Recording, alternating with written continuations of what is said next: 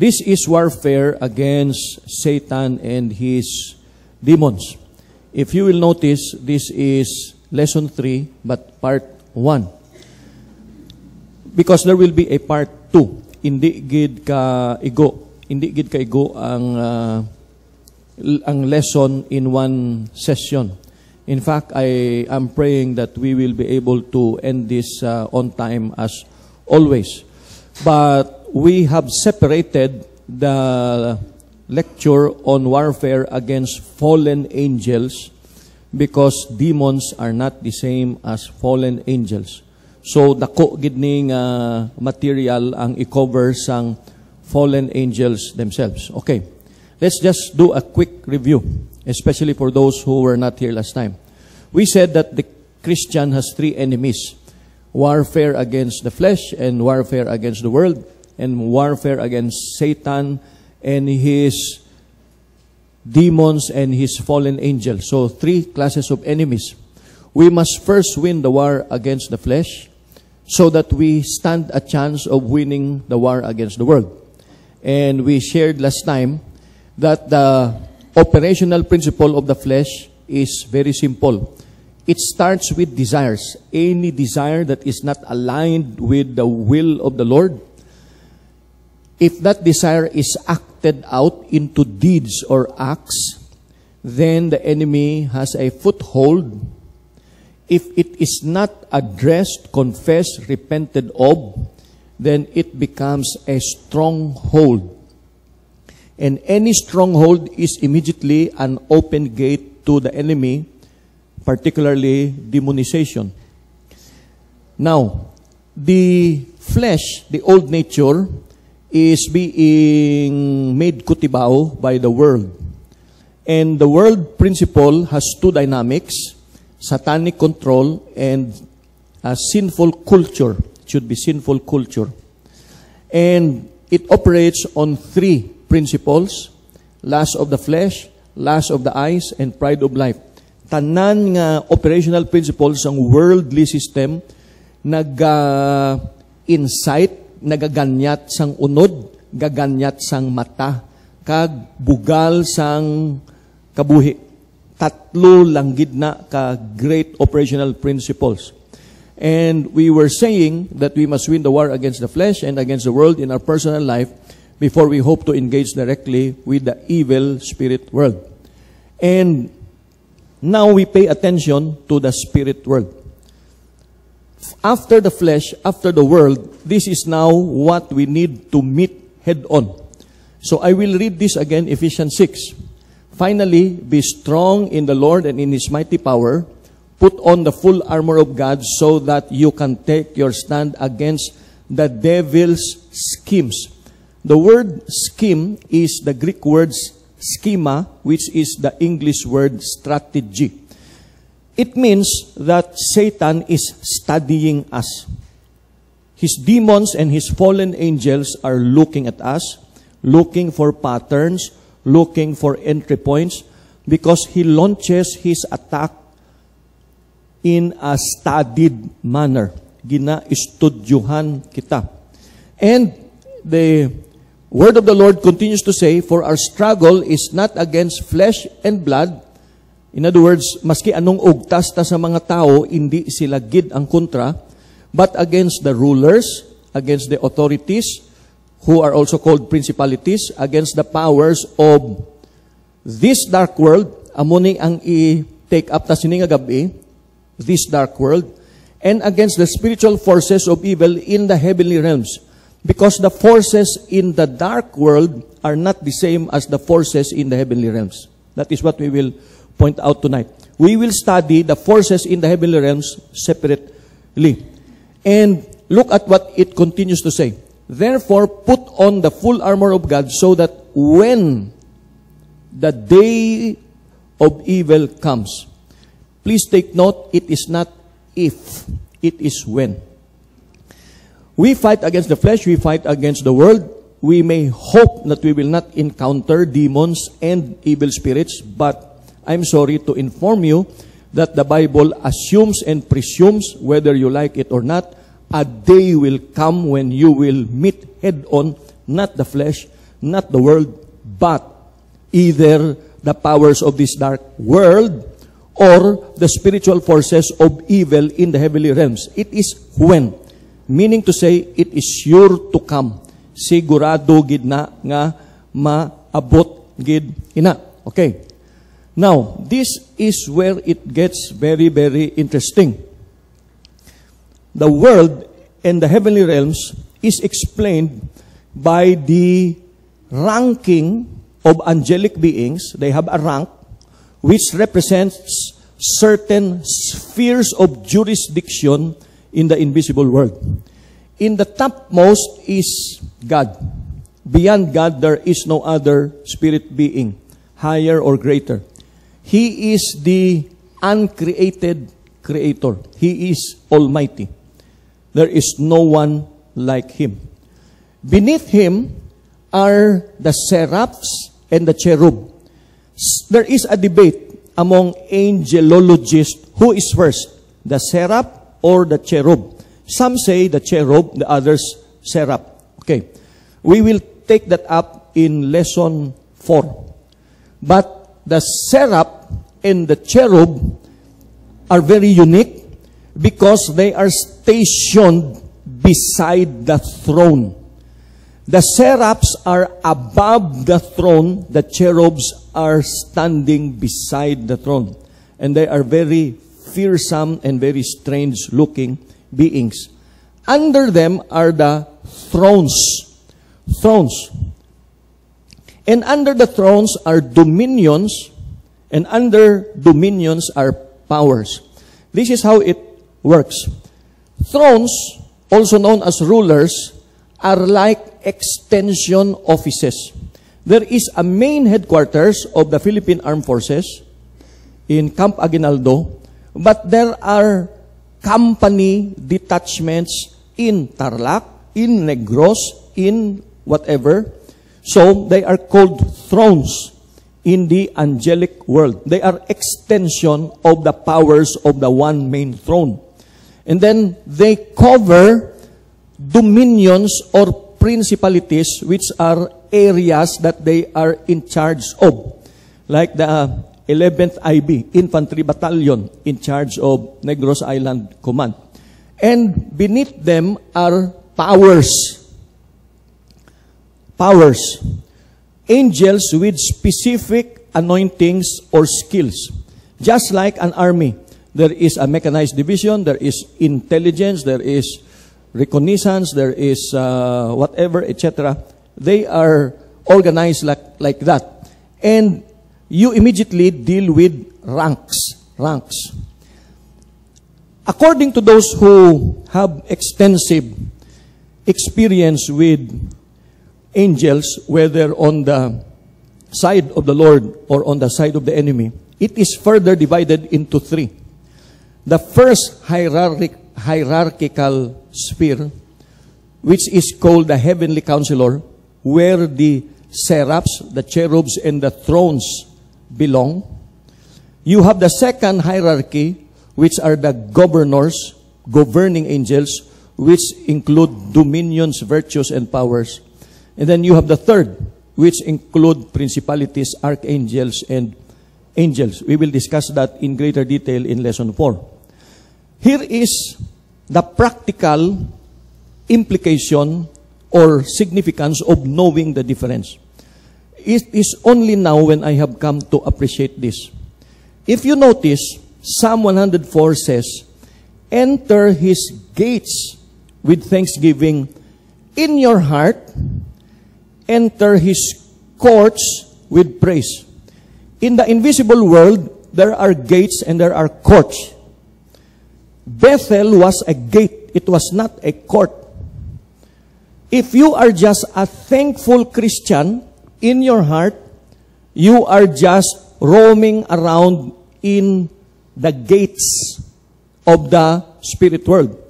But if you want to enter into the courts, your thanksgiving in your heart must be expressed by praise and worship the more you worship and the more you praise, the more you gain access into the heavenly realms.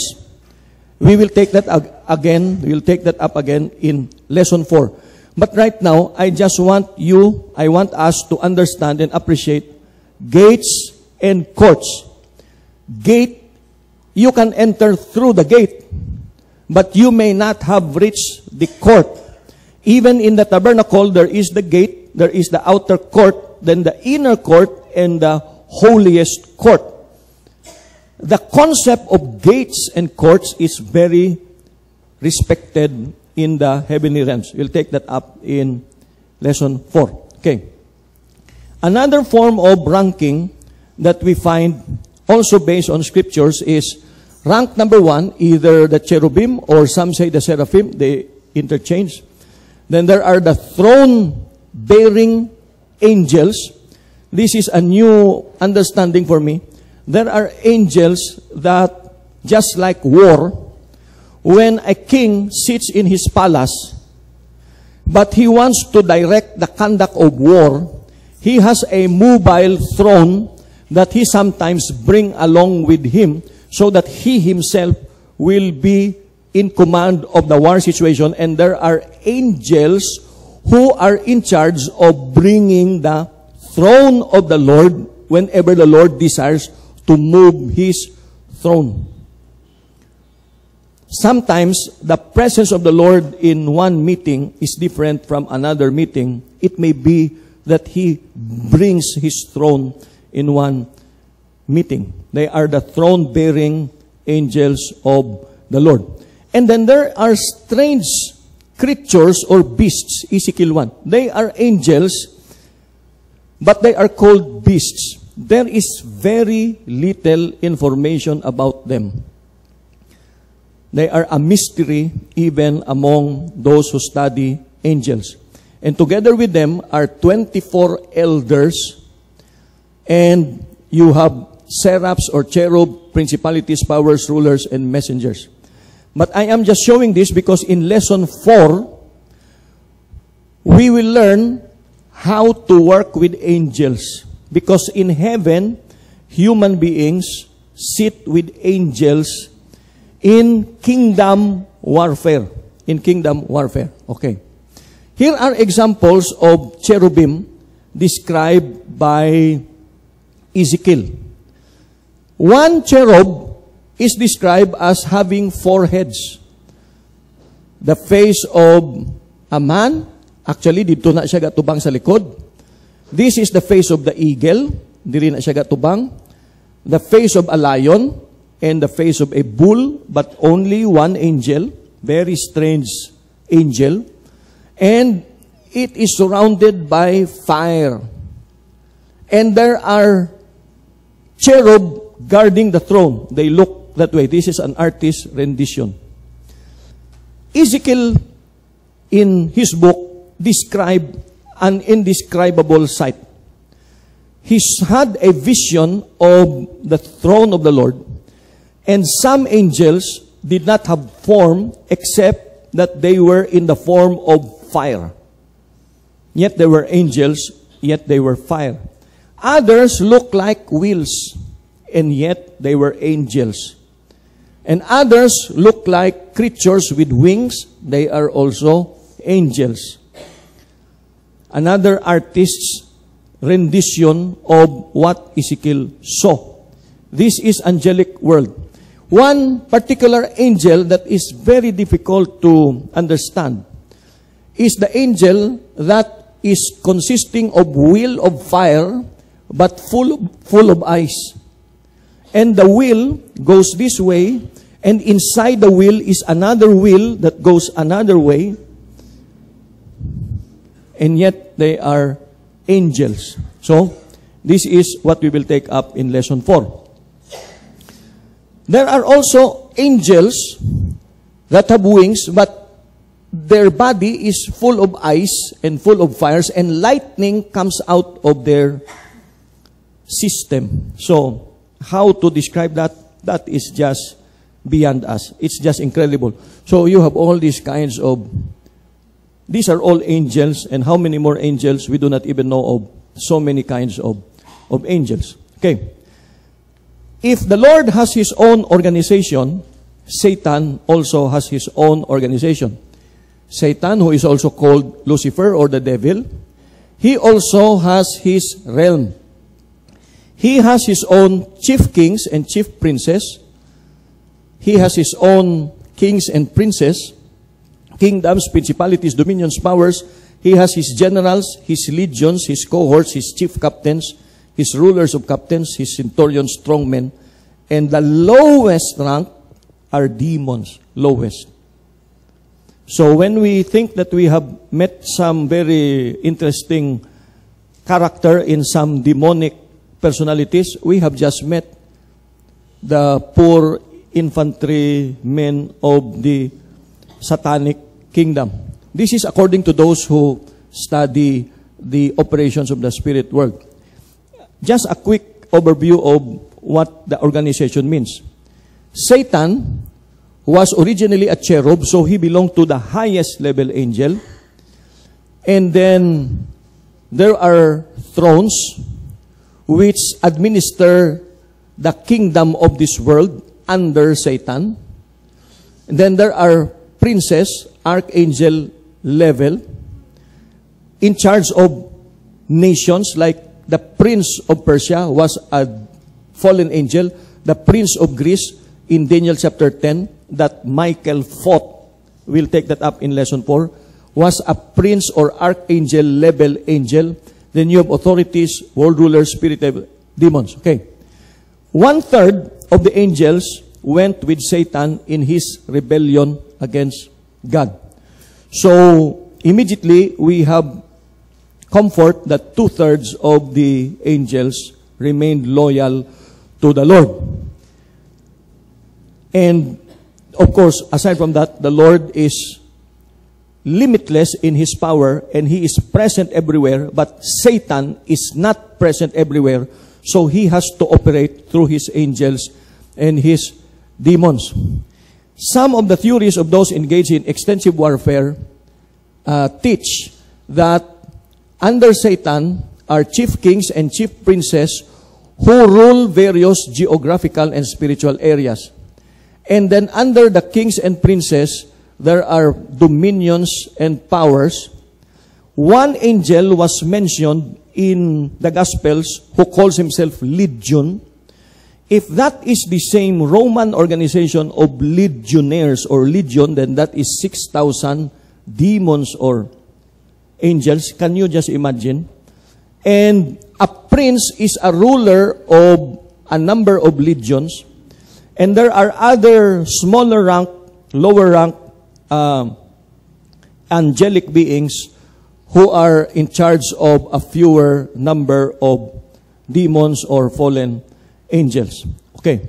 Now, revisiting Ephesians 6, there is a difference between the powers of this dark world and the spiritual forces of evil in the heavenly realms.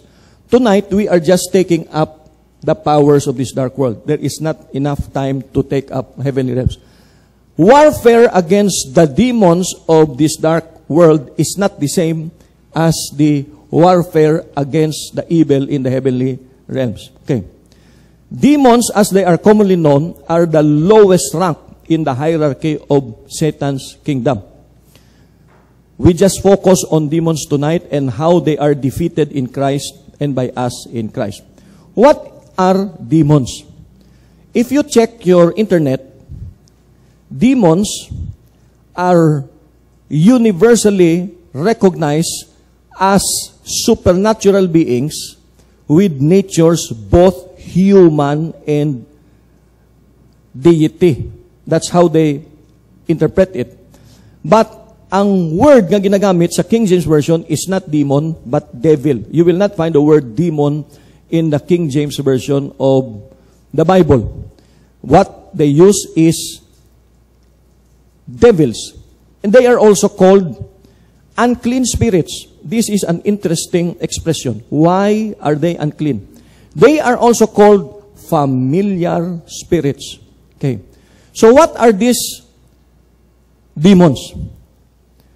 I will tell you an interesting story in Genesis 6. Because of all the theories that I checked in the internet and in the books on spiritual warfare, this is the most unanimously held theory as to where demons come from. Okay.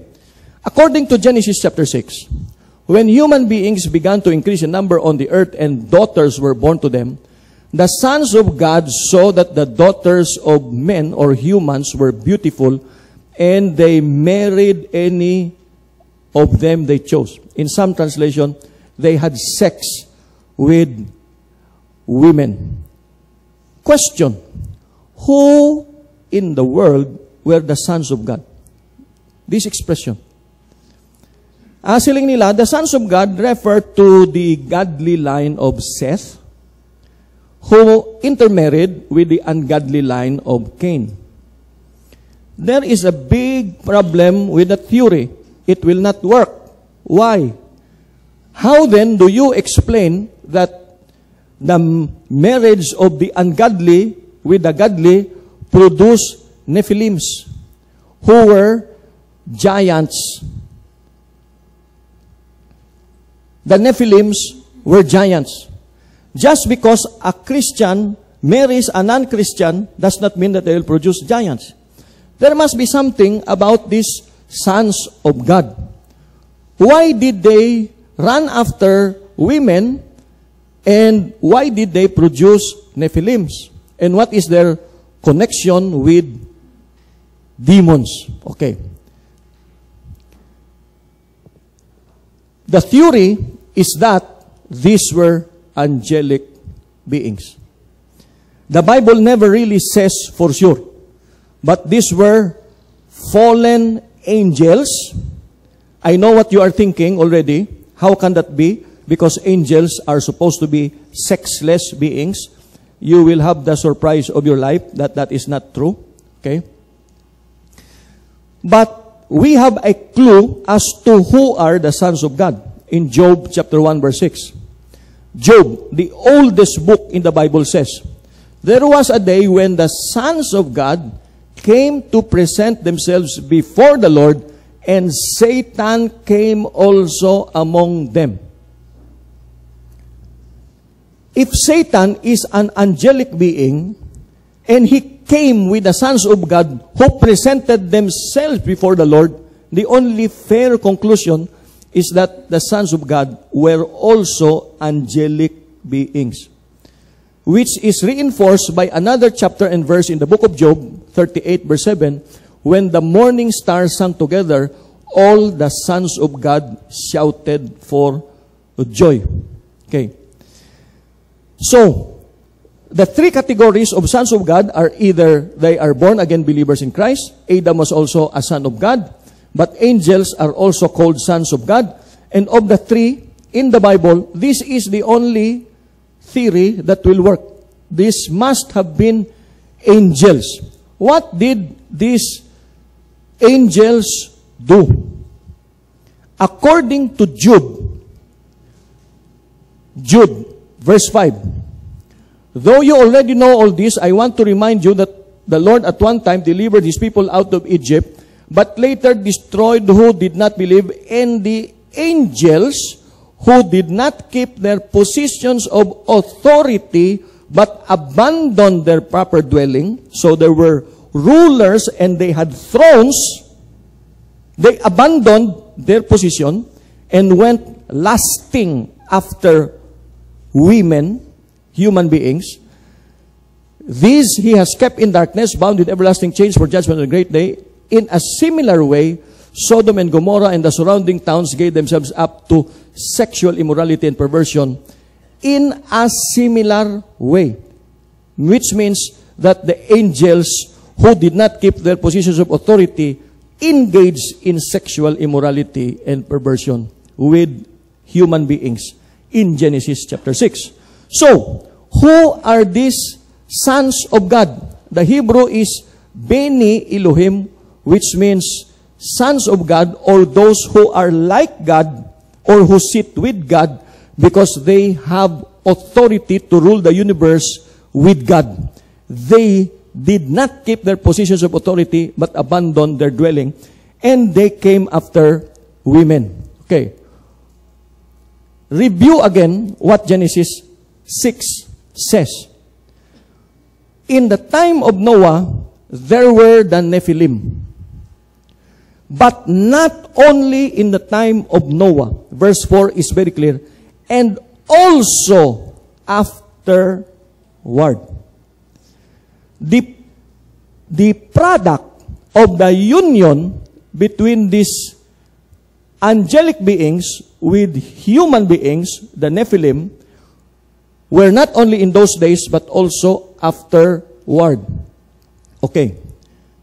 How could they have survived the flood? The spirit of the Nephilims. Very simple. Because when the Lord flooded the earth, the human body which they inhabited were destroyed and their spirits came out of the body that is why they became disembodied spirits, spirits that lost their bodies. And since their spirits were not human spirits, it did not return to God. So they were just roaming around the earth looking for bodies to possess. These are the demon spirits. Okay. There were giants in David's time because the spirits of these Nephilim, although the human bodies were washed out in the flood, they continued with their activity so that in the time of the kingdom of Israel in the book of Numbers chapter 13 that was already many hundreds of years after Genesis 6, thousands of years, There were still Nephilim with their descendants of Anak who come from the Nephilim according to the Bible, and David even had to wipe them out and kill them. You check in your internet, it is an amazing uh, fact that complete or very almost complete human skeletons have been found in many parts of the world. This is your average six-footer man, and skeletons have been found in so many places, proving the existence of the Nephilim. That is why you cannot blame Greek mythology for coming up with stories of supermen and superwomen creatures who have powers and yet they were human. They were given to given over to uh, human frailty, the Bible says that there were Nephilims in those days. These are some of the historical records of the Nephilim on earth. So, now, you say, I thought that angels are sexless beings. Well, that is a conclusion that we made, but which Jesus did not say.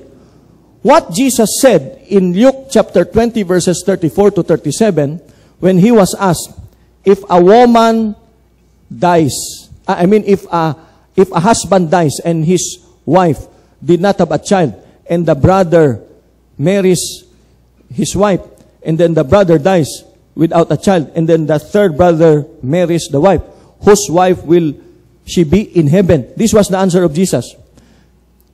Neither Because the people of this age marry and are given in marriage, but those who are considered worthy of taking part in that age and in the resurrection from the dead will neither marry nor be given in marriage, and they can never die, for they are like angels.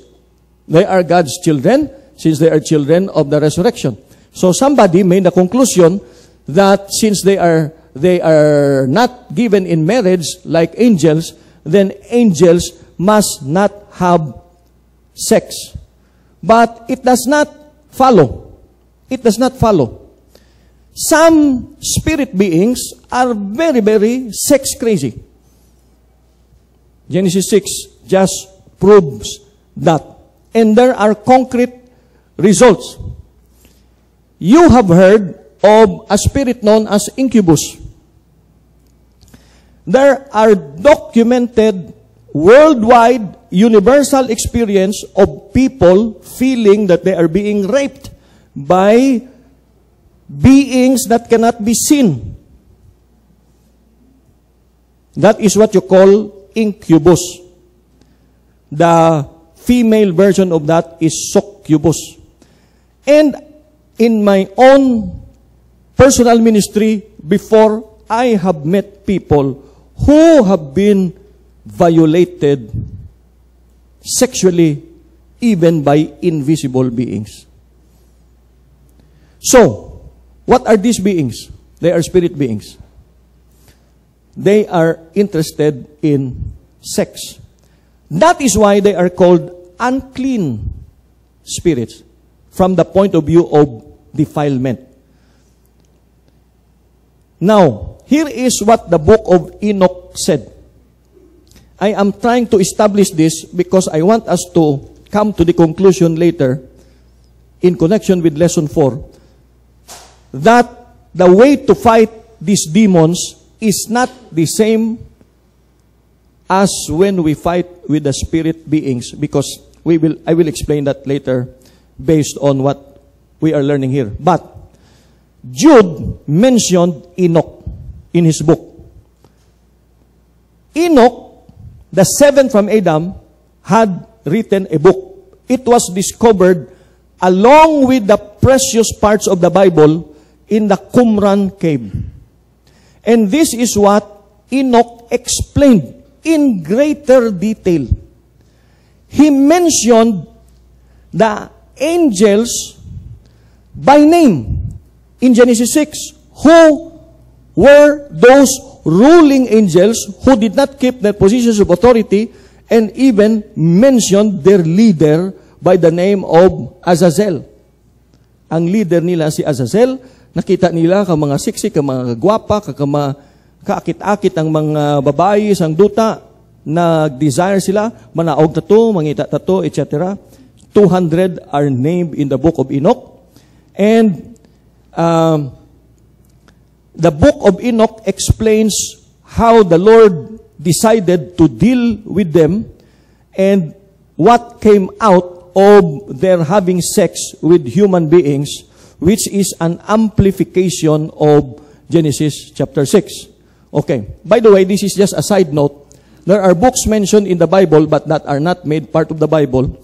You have the book of Enoch, you have the book of the wars of the Lord, the book of Jasher, the book of Samuel the seer, etc., etc., etc., etc., etc. So many books not mentioned in the Bible, uh, not included in the Bible, but referred to in the Bible. So, it is not just limited to Genesis 6. In David's time, they were also Nephilims. Okay, now question. How could a spirit beget children? How could spirit beings beget children? This is a theory I have found because the Bible does not explain. The Bible just tells. For example, the Bible does not explain the existence of God.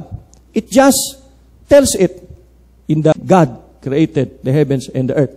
Genesis 6, and the angel, the sons of God lasted after women. Wala na naga-explikar ko, ti paano na yan, di na nagkuha sang binhi nga na, ti ano na man, ano na, how does it work? The Bible does not explain. But some people want to understand. So this is how they came about in explaining it. These demons or these spirit beings are able to switch between male and female. They are able to collect the sperm of whoever they violate, either in a heterosexual or homosexual manner. That is why uh, in Sodom and Gomorrah, the wickedness of Sodom and Gomorrah was so great, which I believe had an angelic, fallen angelic, fallen angel influence in that city.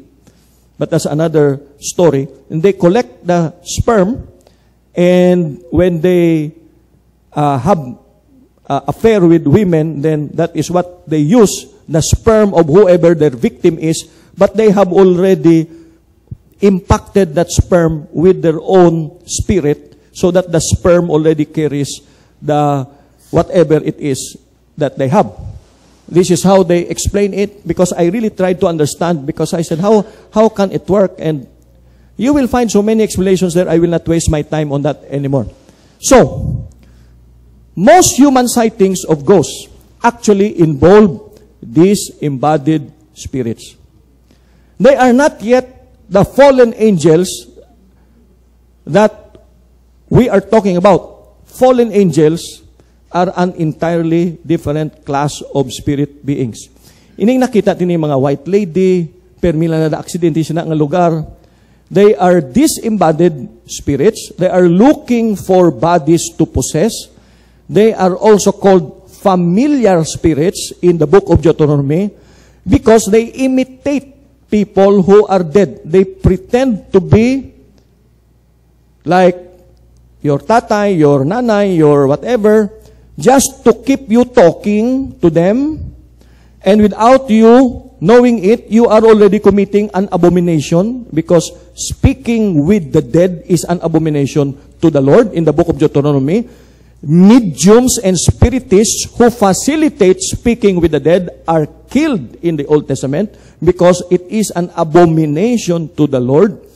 So, we are actually dealing with these embodied spirits. Okay. Talking with familiar spirits, demons is abomination to the Lord. That is very severely prohibited in Leviticus chapter 19 and Deuteronomy chapter 18. Remember in Luke chapter 16, there is no crossing of the divide between the eternal states and earth. So, hindi ka magsiling, ah, si ano to, si amo ni, si amo na. Ah, ari kagali, ari. No, uh, wherever they land, that is where they land. The Christian has angelic protection. Because before I get deeper into this, some of you may begin to develop some unpleasant feelings. So I intercept this with a promise of the word of the Lord. At least two. Receive this in your spirit. Hebrews 1.14 and Psalm 91.10. Angels are sent to minister to you.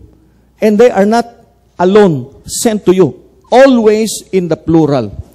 Whenever a child of God is mentioned in the Bible, nga ginaservisan sang angel, that's never only one.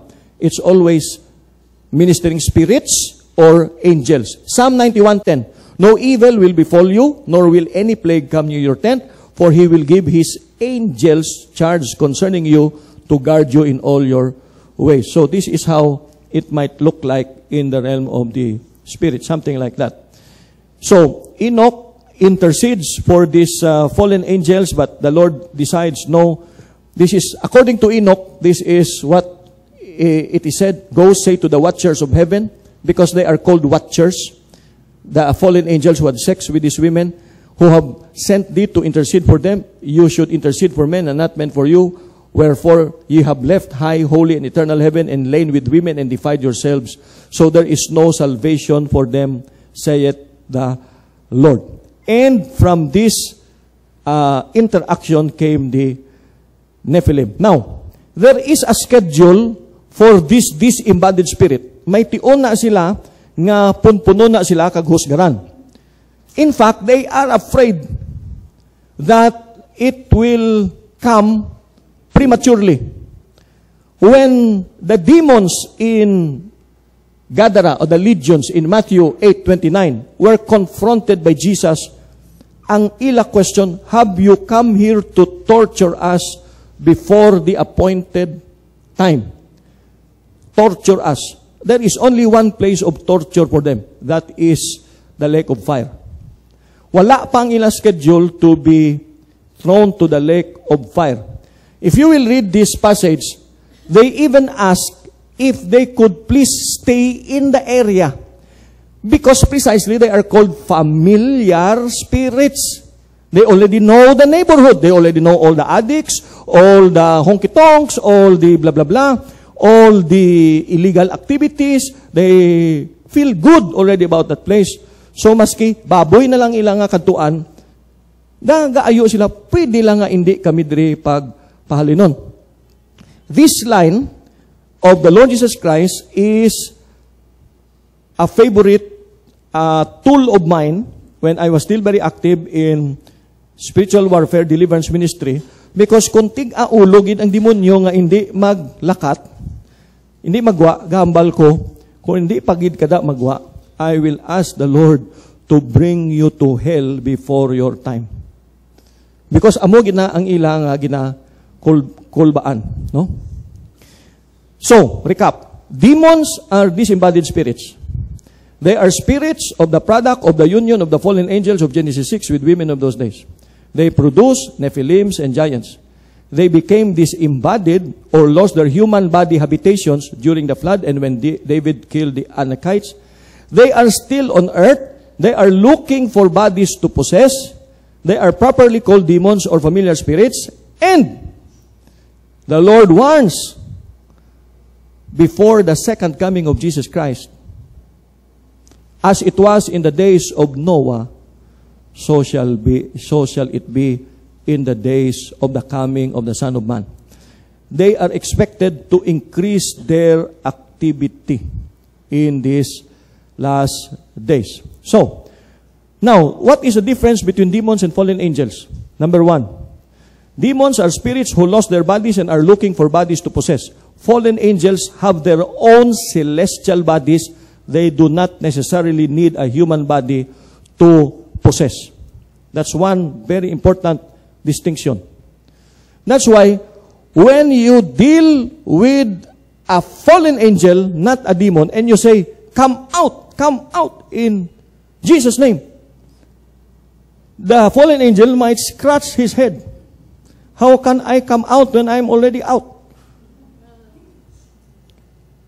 But that kind of a command works only with demons.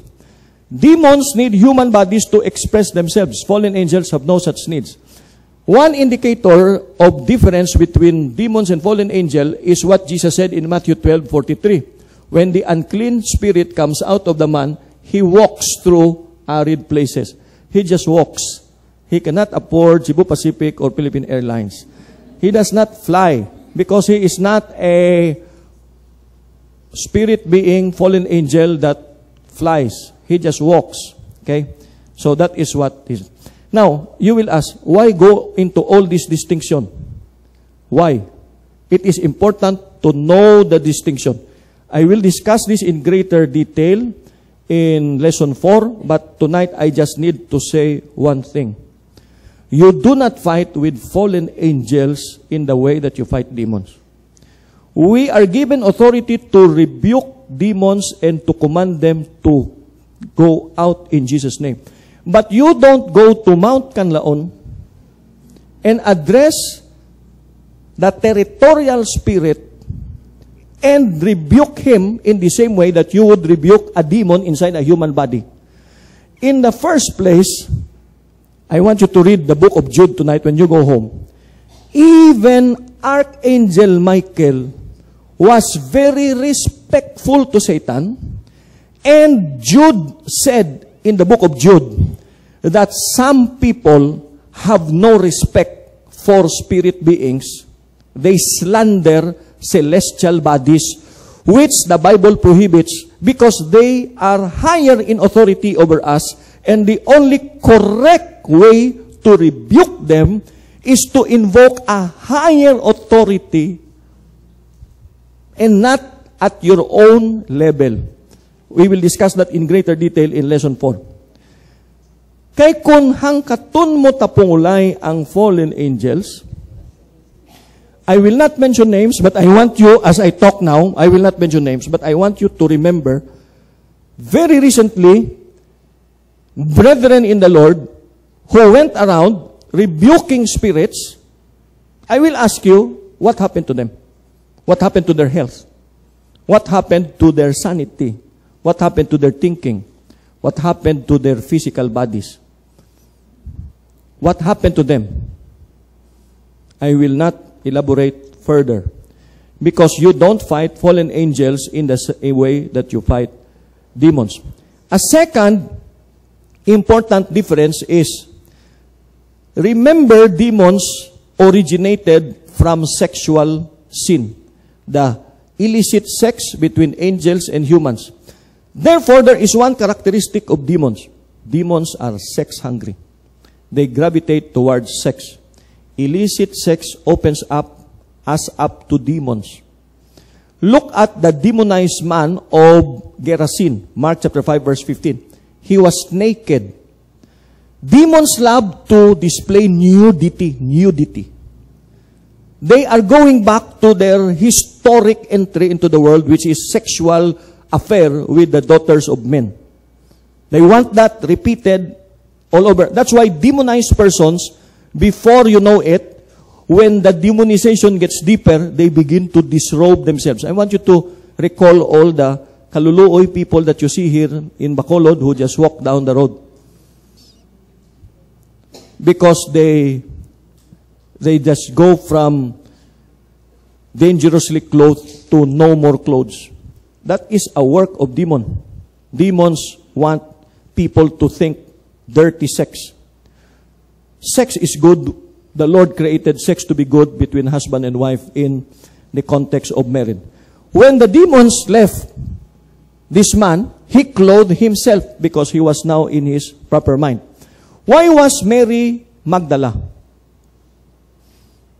According, well, actually the Bible does not directly say so, but it's just a conclusion made by some students of the Bible. Why did she have seven demons?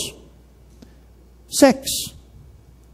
So sexual perversion opens the door to extreme demonization. That is why sexual sin is a specially identified sin in 1 Corinthians 6. Do you not know that your bodies are members of Christ himself? Verse 15, Shall I then take the members of Christ and unite them with a prostitute? Never. Do you not know that he who unites himself with a prostitute is one with her in body? For it is said that two shall become in one flesh. But he who unites himself with the Lord is one with him in spirit. Flee from sexual immorality. Now, listen to this. Look at this. All other sins a man commits are outside his body, but he who sins sexually sins against his own body. Why? Why is this kind of sin specially mentioned as a unique sin?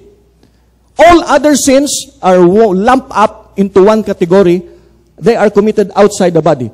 But this one sin is committed against your own body. Why? Because it brings in a spirit into your own body. All the other sins that you commit may not necessarily, as yet, immediately bring in a spirit into your body. But remembering Genesis 6, the sexual encounter between the sons of God, the angelic beings, and the daughters of men, then you have an understanding why this is a specially mentioned sin. Towards the end of this, we will talk about deliverance on this subject matter. So, demons are earthbound, disembodied spirits. They are the foot soldiers of Satan, his ground troops, and they are the ground implementers of Satan's agenda against us. But Christ already broke Satan's head at the cross. Okay. Now, what can Satan do in general? Things he tells his demons to do. This is a laundry list from the Bible. Number one, they can inflict diseases or inabilities. Some diseases are spirit inflicted. In this particular case, Matthew chapter 9 verse 33, may isa di ka tao, hindi ka hambal ka, kag bulag, kag mute. And when the demon was driven out, the man who had been mute spoke. Abilang nila, apa, pero sang na-rebuke ang demonyo, nakahambal. So, uh, demons can inflict diseases or disabilities. Mental disorder can also be caused by demons. Why? Mark chapter 5 verses 4 to 5. There was a man who is identified to have been possessed by an unclean spirit. He lived among the tombs and no one could bind him anymore, not even with a chain. So, nagbuang siya, violent siya, hindi siya ma, ma-contain. And when Jesus uh, confronted him, come out of the man, you unclean spirit. And the Lord asked him, what is your name? He replied, My name is Legion, for we are many. And he begged him earnestly not to send them out of the country, and the Lord gave them permission, kaya nangayo sila sa mga pigs na lang, amo nga si Brother Butch, hindi ginagid magtandog sang pigs. kay amo ni ang ginaamag sa mga ano. So they went to the pigs. Okay? So, impurity also, impure spirit. There was a man possessed by an impure spirit. I want you to notice where this man was. He was where? Now, there is a common belief that demons cannot share a place with the Holy Spirit. You can actually bring a demon with you to church.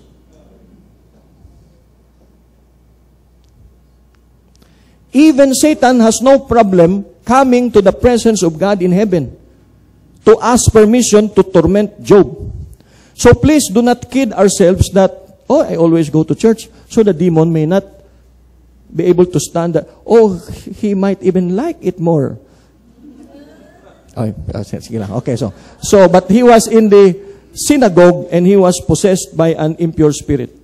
So what do you want with us, Jesus of Nazareth? Have you come to destroy us? I know you, the Holy One of God. Be quiet, said Jesus sternly. Come out of him. The impure spirit shook the man violently and came out of him with a shriek. Okay, we will discuss this towards the end manifestations, when demons are present and they are confronted, they usually manifest. Ginabalan siya ni Jesus, Hibos! Come out! Tunto, gid nga demonyo, nagwa siya. Pero nagbilin pa siya rawit nga singgit. No? Okay. When a person prays over us, to release us from demonization, many times there are physically felt manifestations nga matakos gid. Do you know that demons can also be by false doctrine? Some people do not know that they have been demonized by deceiving spirits. They are socially well dressed, they are very good looking people. There's nothing wrong with them, but they follow deceiving spirits and things, doctrines, taught by demons. 1 Timothy chapter 4. You read 1 Timothy chapter 4 in your own time because if I touch this topic, I will digress and it will eat up 30 minutes of my time which I do not have. But deceiving spirits and things taught by demons is another form of demonization. So posible gid yaya nga ka professional sa imo, ka, ka nami sa imo, nakapabelo ka, dason ka kakain gid sa imo pero why ka kabalo demonized ka? May something sa kabuhi mo nga naisahan ka naintuan ka. Demons also possess. They can enter bodies and possess just like this Mark chapter 9 story. So when the possession came this person was robbed of his speech and when it seizes him it throws him to the ground He foams at the mouth, gnashes his teeth, and becomes rigid, which to me is a description of epileptic seizure. Daw, daw, kun inyo, tanaw mo daw, kuyap. Uh, among the most severe forms of manifestation when a demon is um, rebuked and commanded to come out is amuni. Nagawaras, nagapirek, nagalibot ang mata, nagabura, ga ngurob, kag nagatiskog. Okay. Even Jesus experienced that in his deliverance ministry. Okay. Another case of possession, the deaf and the mute spirit. Okay. And then, here, another surefire form of demonization engagement in occultism and astrology. Ang occultism, sigurado niya nga avenue for demonization. And this is condemned in Isaiah chapter 47. Verse 12, Keep on then with your magic spell, with your many sorceries, which you have labored at since childhood. Perhaps you will succeed, perhaps you will coster. All the counsel you have received has only worn you out. Let your astrologers come forward. That's why, hindi na innocente, kag hindi na cute when you ask one another, ano ganing imong uh, zodiac sign? Ay, ano kagali? Wow, di ba si compatible kita? Wow, terrible. So ang basis mo for decisions ang compatibility is the zodiac sign. Ay hindi ka maglakat subong kay ang bulan mo hindi ni mayogid, no? Na mo na. Sinila hindi ka kuno magwa si mo balay kay siling sang zodiac sign ah, may delikado ka sa kalayo kag bato. Ti pagtabok yagid na ipit siya sang truck ang ngalan sang guma firestone te patay. Using demons tempts us, robs us, oppresses us, can even kill us physically if we are not careful. And he carries out his territorial spirits to carry out his worldwide plan. He uses demons to carry out his territorial plans. Now, mahambal ka mo, ti, Christian naman, Kuya Brother Lindon, hindi na kuya ma-demonize kay Christian ka. I have the Holy Spirit inside me. Okay. Damo-damo, balasang pwede mahimo ang demonyo sa aton. Okay. Number one, he opposes the movement of the gospel. He prevents understanding, he blinds minds, and he hinders the progress of preachers. Basahan nyo na lang Luke 8.12, 2 Corinthians 4, 3 to 4, 1 Thessalonians 2.18. So, when you go to a Bible study and you do not pray, when you go on sharing the gospel, you do not pray, na una na to ang kontra sa imo, kay ginbutangan niya nasang kulap ang huna-huna sang gina planuhan mo nga i-witnessan. That is what demons do against Christians. In the spiritual realm, there may be occasions when you will feel that you were engaged in hand-to-hand combat with the spirit of a demon because Ephesians 6:10 says, "For we wrestle not against flesh and blood, but against powers and principalities." In my own personal experience, wrestling with the spirit being, at least in my own observation, comes in especially involving the spirit of depression. Remember, um, wrestling is a contact sport. Why do I say nga depression? Together with panic attack and with fear. Why? Because mabatyagan mong physical effect. Daw hindi ka kaginawa. Daw hindi ka kagiho. Daw hindi ka ka-rebuke in Yeshua's name. Daw ka real gid sang dumog. Sometimes it is in a dream. When you are under attack, remember, recall all your experiences.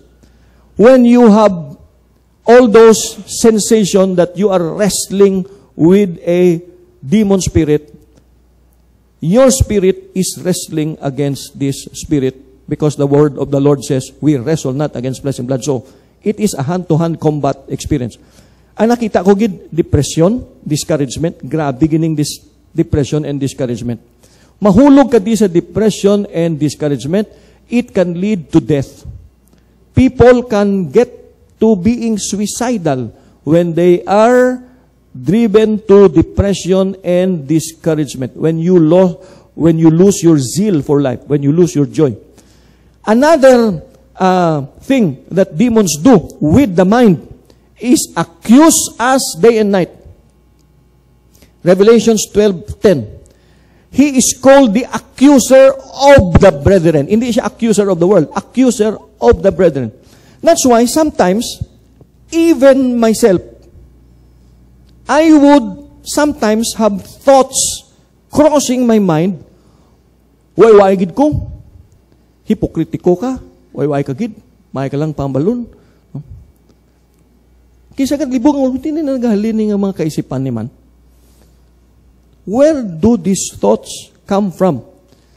In Acts chapter 5, verses 1 to 5, in the confrontation between Peter and Ananias and Sapphira, take note of the counter of Peter against Ananias and Sapphira, who pretended that they were giving the whole uh, purchase price of the thing that they sold.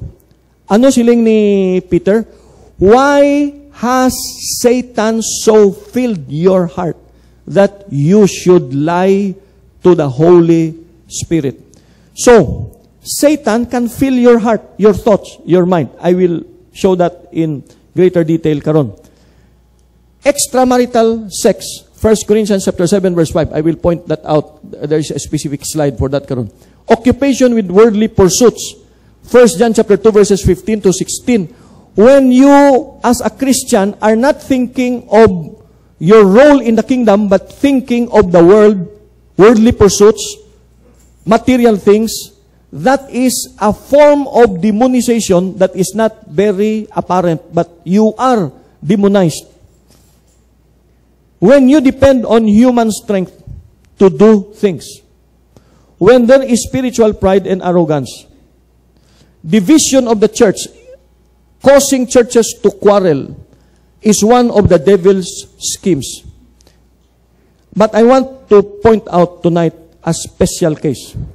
When you are overly worried, when you are a warrior, over concerned, I want to inform you by the authority of God's word that the devil is nearer to you than anybody else. 1 Peter chapter 5 verses 6 to 10. Look at the words of the Bible. Humble yourselves under the mighty hand of God that he may exalt you in due time Cast all your worries or cares upon Him because He cares for you. Be sober and vigilant. Your opponent, the devil, is prowling around like a roaring lion looking for someone to devour. When, Pete, when Peter said this under the inspiration of the Holy Spirit, the context of the warning is with people who are prone to cares and fears and anxieties. He was not talking about general sins. He was talking about the particular problem of lack of faith. Inablang, hindi kagid kasalig nga himunan ka ni Lord. Hindi kagid kasalig nga masolve ang problem mo. Do hindi kagid believe nga maumpawani. So palibog, palibog, palibog. Dason pagtanaw mo sang imo nga papilis, daw wala naman palibog. Naglibog ang ulo mo nga wala kay na ginapalibugan. So nagworry ka nga hindi na ni normal. Dapat ya may ginapalibugan gid ko. Wow. So tukbon kagid sang demonyo. Ano ang koneksyon sini sa sina kung hindi ni pwede mahimo sa Christian kay Christian naman ko what is this warning doing here when a Christian cannot be demonized ginsulat ni sa Christians. Be careful with anxiety, palibog. You are a candidate for demonic attack. Number two, be careful with unforgiveness, resentment, special case. Matthew 18. This is the parable of the unforgiving servant. May servant, ginpatawad, happy gid siya, pagkat guaya sa balay sang master, may namit siyang uh, servant, may utang man siya, hindi niya pagpatawaron. Ano ang ginimo niya?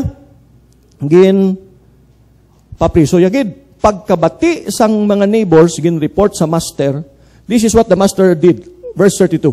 Then his Lord, after that he had called him, said unto him, O thou wicked servant, I forgave thee all that debt because thou desirest me, Shouldn't you also have had compassion on your fellow servant, even as I had pity on thee? And his Lord was wroth or angry, and delivered him to the tormentors. King James Version.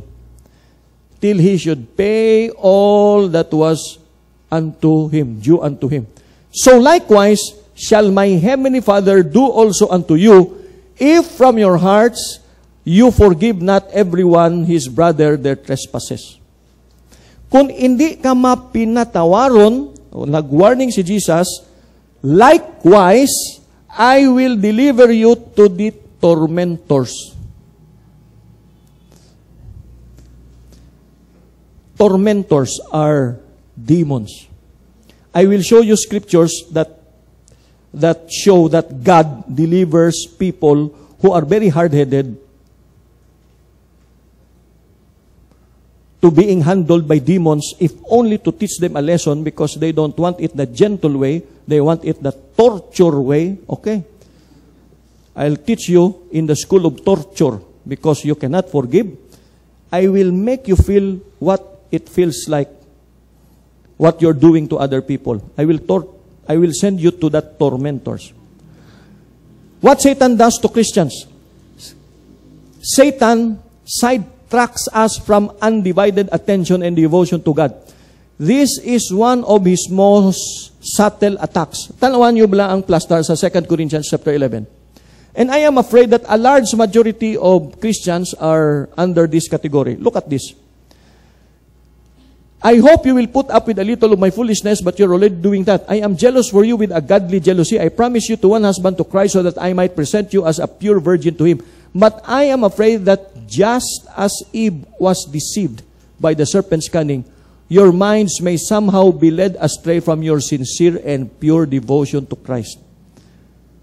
Si Eve na intuan, kita nga gapa Christian, Christian, nga hindi conscious ang aton bridal commitment to Jesus Christ because bride na di ang context I promise you to one husband but we do not behave like the bride of Christ we are candidates for demonization just as Eve was deceived by the serpent so Satan and his demons also incite persecution klaro gini especially in the last days pwede siya maglabugay sang mga persecutors. The devil will put some of you in prison and you will suffer persecution. Hindi na iya sa mga politiko, hindi na iya sa gobyerno, iya na sang yawa plano. Hmm. The devil designs, desires to gain a foothold. Amo na in-explain ta last time, Ephesians 4, 26, 27. May area of control siya sa aton nga kabuhi, whether it is temper, pornography, uh, addiction, anything, basta may foothold lang siya, any way by which he can control us, heretical doctrine, ignorance, and doctrinal immaturity to bring believers in actual demonic fellowship. In 1 Corinthians chapter 10, wala siya kabalo, nag-intra-intra siya sa food offered to idols. Let's be careful with the food that we are buying if they have been prayed over like if they bear the stamp of halal, they have been prayed over with Muslim prayers. Let's just be careful. Daw nagakitid ni nagakitid ang aton ni mga choices kay daw daw tanan na lang may stamp ti and hinders prayer. We will take this up in uh, lesson 4. But God can use demons for His purpose. Alaya, ani sa Jani. If you read 1 Timothy 19 to 20, there is a case of two brethren who are, who are very hard-headed. Their name is Hymenaeus and Alexander.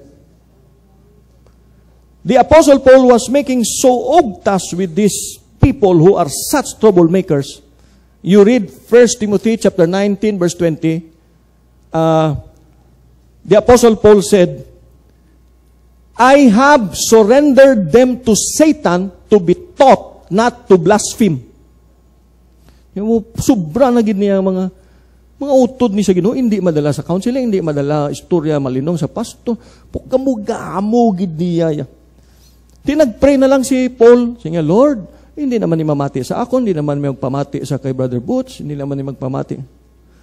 Pwede mo dispatcharan sang mga tormentors 1 Corinthians 5 was a case of unrestrained, unrepented sexual immorality. Hindi man maghinulsol. Nagpray man si Paul. Second prayer in the Bible where there is a surrender of a brother in Christ to being disciplined by demonic powers. Grabe ni nga realization. Ang ginoo is not limited in His ways. You can choose to obey the Holy Spirit. You can choose to obey your pastors your brother and sister in Christ who is doing faithful counseling to you, but you are so hard-headed. So the Lord will look at His telescope, He will telescope His kingdom. Oh, here is an ugly demon. Come here. You see that son of mine who is so hard-headed? Please visit him today. That is in the Bible. Yes, sir. Yes, ma'am. Sometimes the, the Lord also uses demons to increase our faith and devotion, as in the case of Job. Gintistingan siya. Okay. In Psalm 78 verse 49, you read this psalm, the Lord was dealing with a rebellious generation, generation, rebellious group of people. And one of the verses in Psalm 78 says, And the Lord was angry with him, and he sent his tormenting angels to them. So, a community being disciplined by demons because they will not listen to the Lord. The Lord also used evil spirits to deceive their own human servants so that he might destroy them in the case of Ahab. And when demons are cast out, God's name is glorified and they give occasion for the performance of signs and wonders that confirm the word. Okay.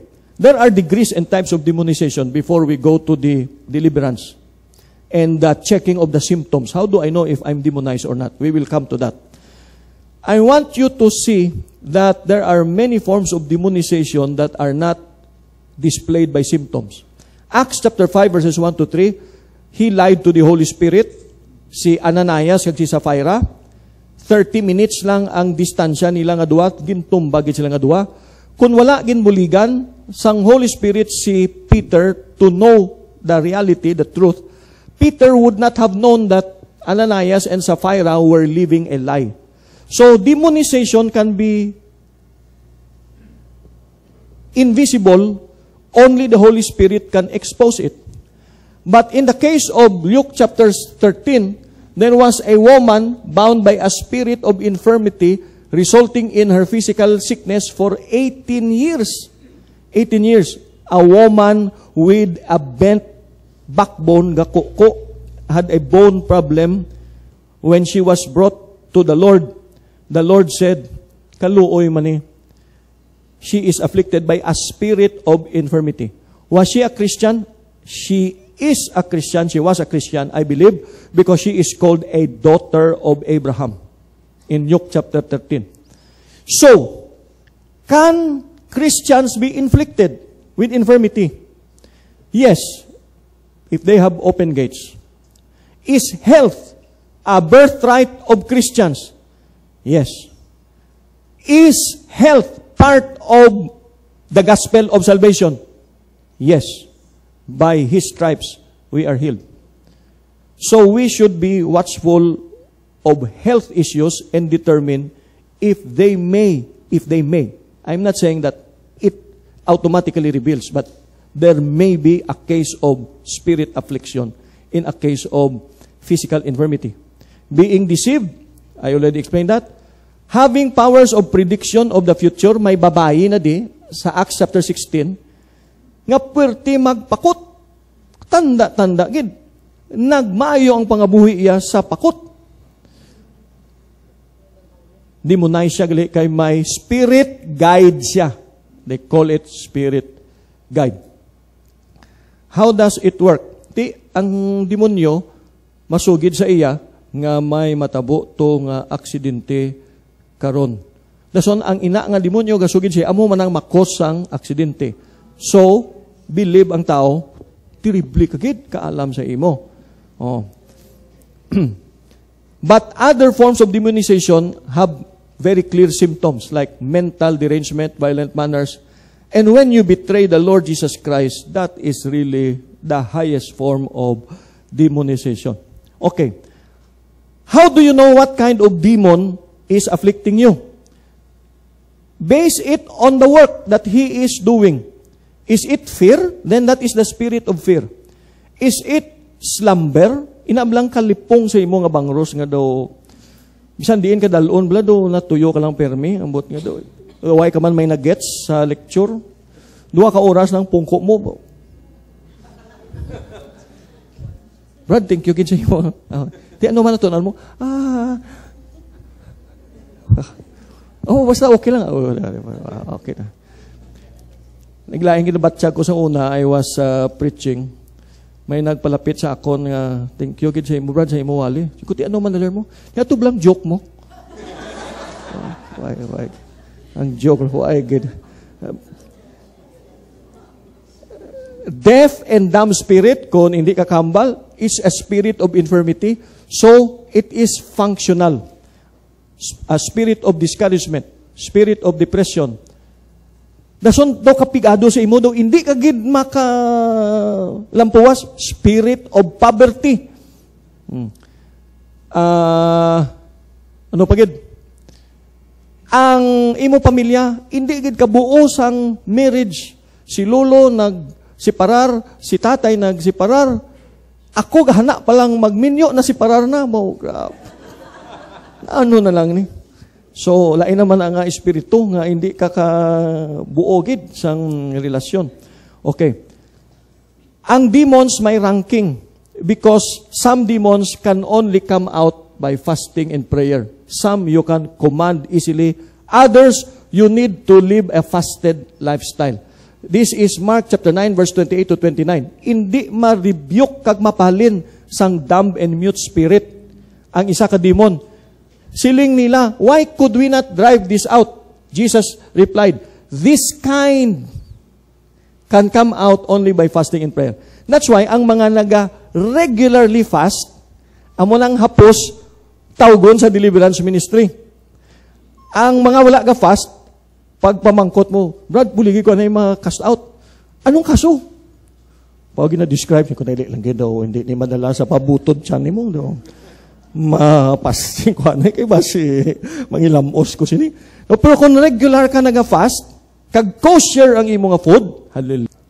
Okay. So, these things are, my ma. Okay. So, can Christians be demonized? Yes, it is implied in these passages you give place to the devil if you do not guard your anger. You, if you do not guard your fear and your anxiety, your enemy, the devil, will devour you. So this is written to Christians. As the serpent beguiled Eve, so your minds may be corrupted from the simplicity in Christ, written to Christians. You can receive a different spirit if you are not focused on Christ, written to Christians. So you can be demonized. I'm not using the term demon possessed. I am saying demonized. Demonized means to be under the effective control or influence of a demonic power. You can have fellowship with demons if you are not careful. Offering food to eating food offered to idols is fellowship with demons.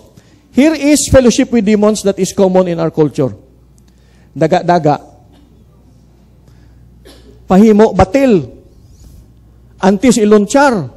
Fishing boat. Oh. Maihaw, dugo, ipinta. Oh. That's fellowship with demons. Uh, patindog balay. Dugo sang manok. Eh, ano da? Patindog taytay. Oh. Uh, ti, ano na? You, we are fellowshipping with devils. Okay. Spirit of infirmity. This was a Christian because she was a daughter of Abraham. Ananias, her, his heart was so filled with Satan to lie. That is why fear seized the whole church, not the neighborhood, the church. Because a believer in Christ fell in, by the power of the Holy Spirit. David, in 1 Chronicles chapter 21, had a bad experience where 70 Israelites were killed because he counted the troops of Israel when the Torah prohibits the king of Israel from making a census so that hindi siya magsalig sa iya army, masalig siya sa Diyos. So wala ginapaisip ang soldado, wala ginapaisip ang kabayo, wala kaga, wow, okay, I have 40,000 foot soldiers, I have 300 tanks and 4,000 howitzers, I must be very strong. One time, si David, ginisip niya, Siling sang Bible, it was Satan who provoked or incited David to count the troops of Israel. Basahan niyo 1 Chronicles chapter 21. Napanulayan siya, kalipot lang. Lipot lang. Nagsulod lang gid ideya, panulay nga ideya nga isipon ko niya. Wala gid siya mapunggan. patay ang 70,000 Israelites. Ginpapili pa siya sang Diyos. Tatlo ka sa puti. Yata ko sa imo. Pirdi ka sa imo nga mga kontra 3 years. Buyan ko tat, isa ka angel nga mamatay lang tatlo kadlaw o nano, pili ka. Si David naglungo, siya, Lord, sorry lang gid, hindi ko kapili, ikaw na lang pili. Di. Sino ang nagpanulay sa iya, nga nagsulod na nga ideya? Si Satanas. Christian si David. Christian. That is what I mean by demonized. Why ko nagsiling nga si Satanas nagposes sa iya? Na demonyohan na panulayan nga ideya, panulay nga ideya. Ari gid yang perfect gid nga ideya, gid nga panulay gid Matthew 16:21 to 23. Valedictorian gid iniya ang nakasala. Si Peter Kaluoy man si tutupit. Who do you say that I am? Siling sang iban, prophet or John the Baptist. But who do you say that I am? Si Peter. Thou art Christ, the Son of the living God. Siling sa Ginoo, Hallelujah! Blessed are you, Peter. You, the flesh and blood did not reveal this to you, but the Father in heaven. And upon this rock I will build my church. Then Jesus said, But I must go to Jerusalem because the Son of Man must suffer in the hands of sinners and they will crucify him and in three days he will rise from the dead. Then Peter said, It must not happen, Your Honor. Do not do that. Siling sang ginoo, get thee behind me, Satan. Few verses lang. Few verses lang. This is, this underscores the need to constantly guard. Constantly guard Subong pertita di kabalaan, basi pagwa tato karon isa lang ka provokasyon, hindi na amo ang alignment sang pinsalta. It can happen very quickly. Okay, practical advice to young widows which shows demonization of Christians. May mga young married women, wala man nilagin pangayo, timprano napatay ang ilang mga bana. Physically able pa sila Ti may sexual physical need sila. Ang hambal ni San Pablo, pangita kamo sang pamanhon liwat. Kay kon ang inyo na nga style nga naga-date-date kamo, hindi man kamo magpakasal, some have in fact already turned away to follow Satan. I counsel younger widows to marry, to have children, to manage their home, and to give the enemy no opportunity for slander. Practical si San Pablo. When you have physical needs, and you know that you have a need, do not allow it to be an open gate for demonization. Ask the Lord, Lord, you did not give me the heart of a eunuch. I am still red hot. So please, Lord, help me, Lord. So, Pray. Pray to the Lord that He will give you help in this area by looking for somebody nga may pulos nga palamanhon or palangasaon. Persistent disobedience. Kung dungol-dungol kagid, hindi kagid maginulsol, ipaguba ang imong espiritu kay Satanas. 1 Corinthians chapter 5, The immoral brother who refused to repent was handed over to Satan for the destruction of his flesh. Amo si Himeneus kag sa Alexander sa 1 Timothy 1:19 to 20 the Apostle Paul prayed that they be handed over to Satan to be taught not to blaspheme. Okay. So, it is very important to monitor oneself. Monitor, monitor. Romans 14.10, each one will give an account of himself to God. Ezekiel 18.20, the soul who sins is the one who will die. 1 Corinthians 10.12, let him who thinks he stand take heed lest he fall. Galatians 6, 1 to 5. Each one should watch himself and test his own actions. 1 Corinthians 11 to 8. Each one should examine himself. Colossians 3, 5 to 10. Put to death whatever belongs to your earthly nature. We are going into the deliverance part, but I cannot resist giving the case of King Saul. Kay kaluoy gid ni an example of a believer who was thoroughly demonized and who ended bad. Up, si, si King Saul began well. 1 Samuel 8:5. He was so humble when the Lord allowed him to be king of Israel, nga he was so humble nga he even hid behind the supplies. Pero tikahuluyaon nga bata, hindi siya tikalon. He was made into another man because the Holy Spirit came upon him. In fact, he even prophesied. He was given a new heart in 1 Samuel chapter 10. The Spirit of God came upon him mightily. He became even for a short while a prophet. He prophesied. Chapter 10 verse 10. But one day, he had a small open gate. What was that? Jealousy. Didto gid nagsugod. Kay pagpatay ni Tuto David kay Gulayat, nabatian niya ang kanta sa dalan, Saul killed his thousand, but David his ten thousand. Saul killed his thousand, but David killed his ten thousand. Tingnan sige siya inom, boy, shit man nga pangabuhi. Sin, oh man ni si Tuto David niya nga. Dito, gamay lang. Jealousy. Jealousy.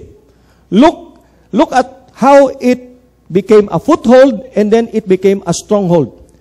Jealousy was a foothold. Then, he was given over to depression.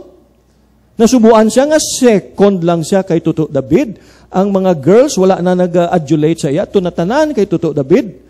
Hmm. Then, temper and anger mixed with depression. And then, ginapinan ni Jonathan si David. Jutayan niya man pinatay mismo si Jonathan kay nag-apin kay David. Then, jutayan niya pinatay gid si David mismo. And then, sa ulihi, desperate na gid siya. May gira siya. Nakamitir siya sa pagpatawag sang espiritu ni Samuel. Prophet nga napatay na, kay way nagidlay guys sa kabuhi iya. Ahay, the Lord said, I will destroy you and your family, and I will take the kingdom away from you. And he ended by committing suicide. He was a believer in the Lord. You, we can be demonized if we are not careful. Amo man na natabo kay King Solomon, ang demonization niya was uh, sex. He had uh, 300 wives and 700 porcupines. Uh, okay. Okay. But uh, one things demons cannot do, they cannot separate us from the love of God. Demons can never separate us from the love of God. Okay.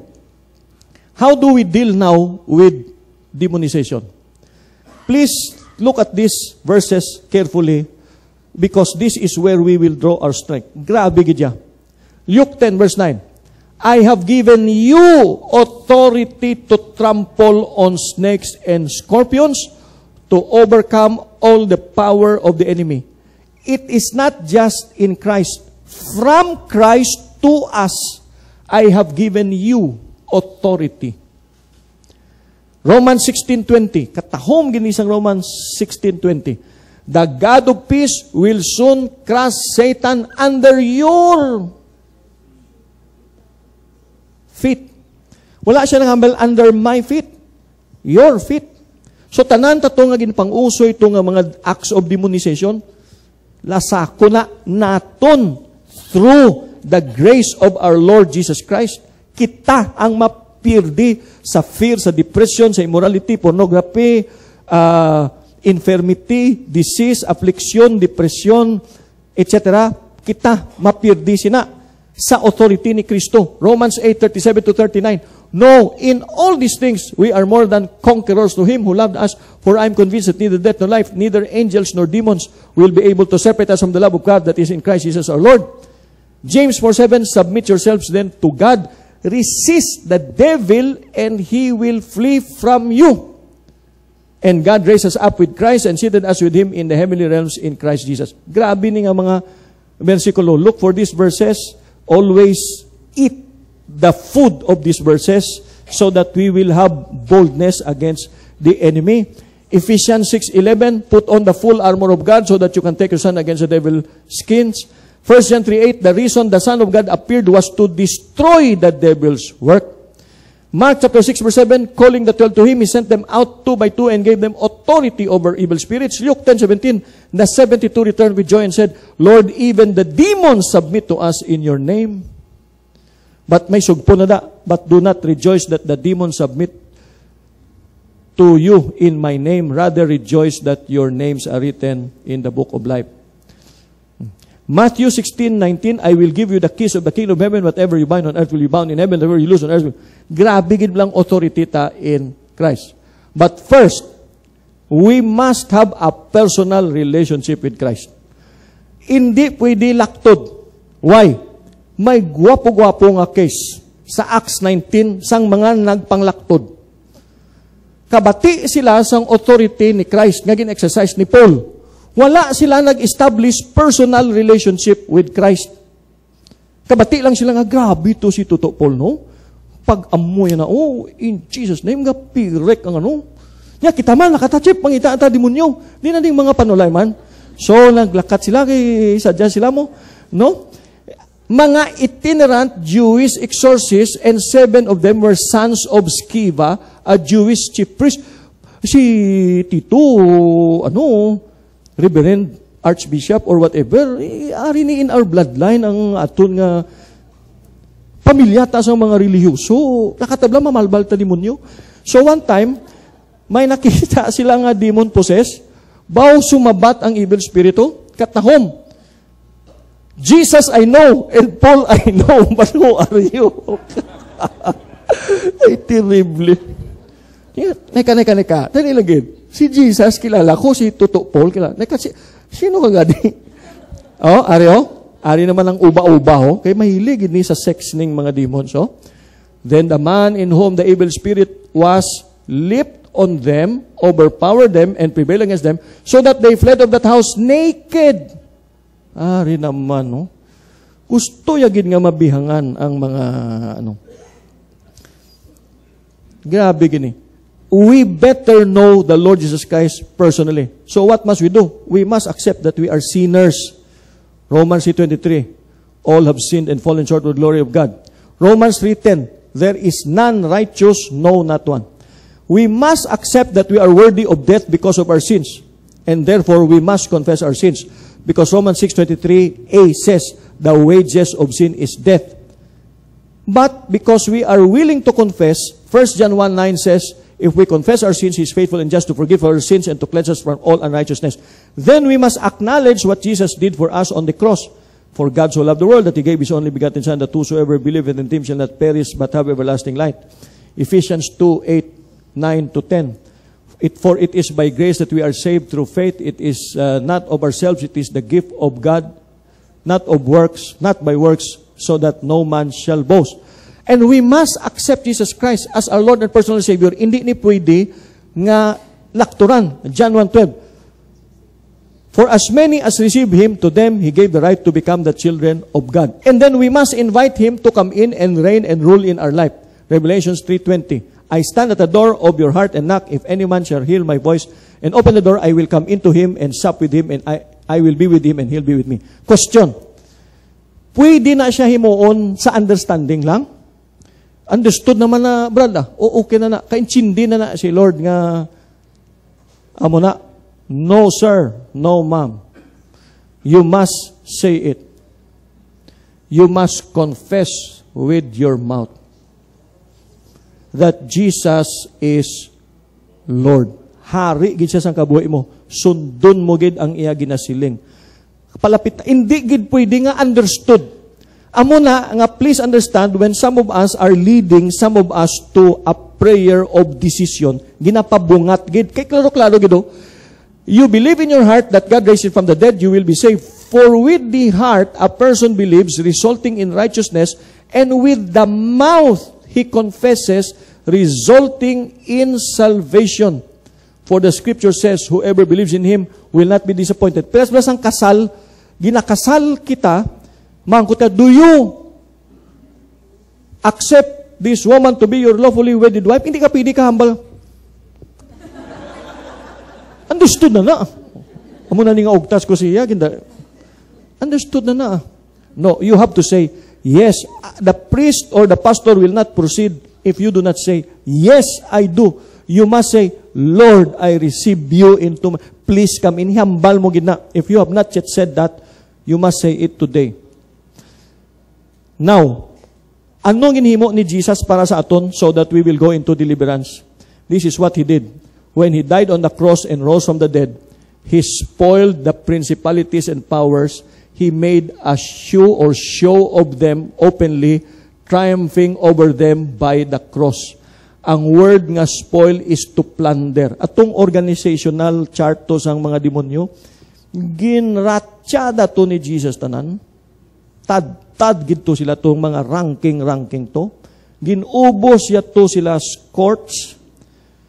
Kagin parade sila, gin exhibit, digmatizo in Greek, which means gin panggapusan kag gin pangguyod according to the Roman model of displaying a foreign king who is defeated in battle to make an acclamatory procession ginpakahuyan gid ni Jesus ang demonyo ang yawa kag ang mga demonyo niya sang nabanhaw siya sa cross. Nabanhaw siya sa minatay when he was when he was crucified at the cross. And amo na ang authority nga ginhatag niya.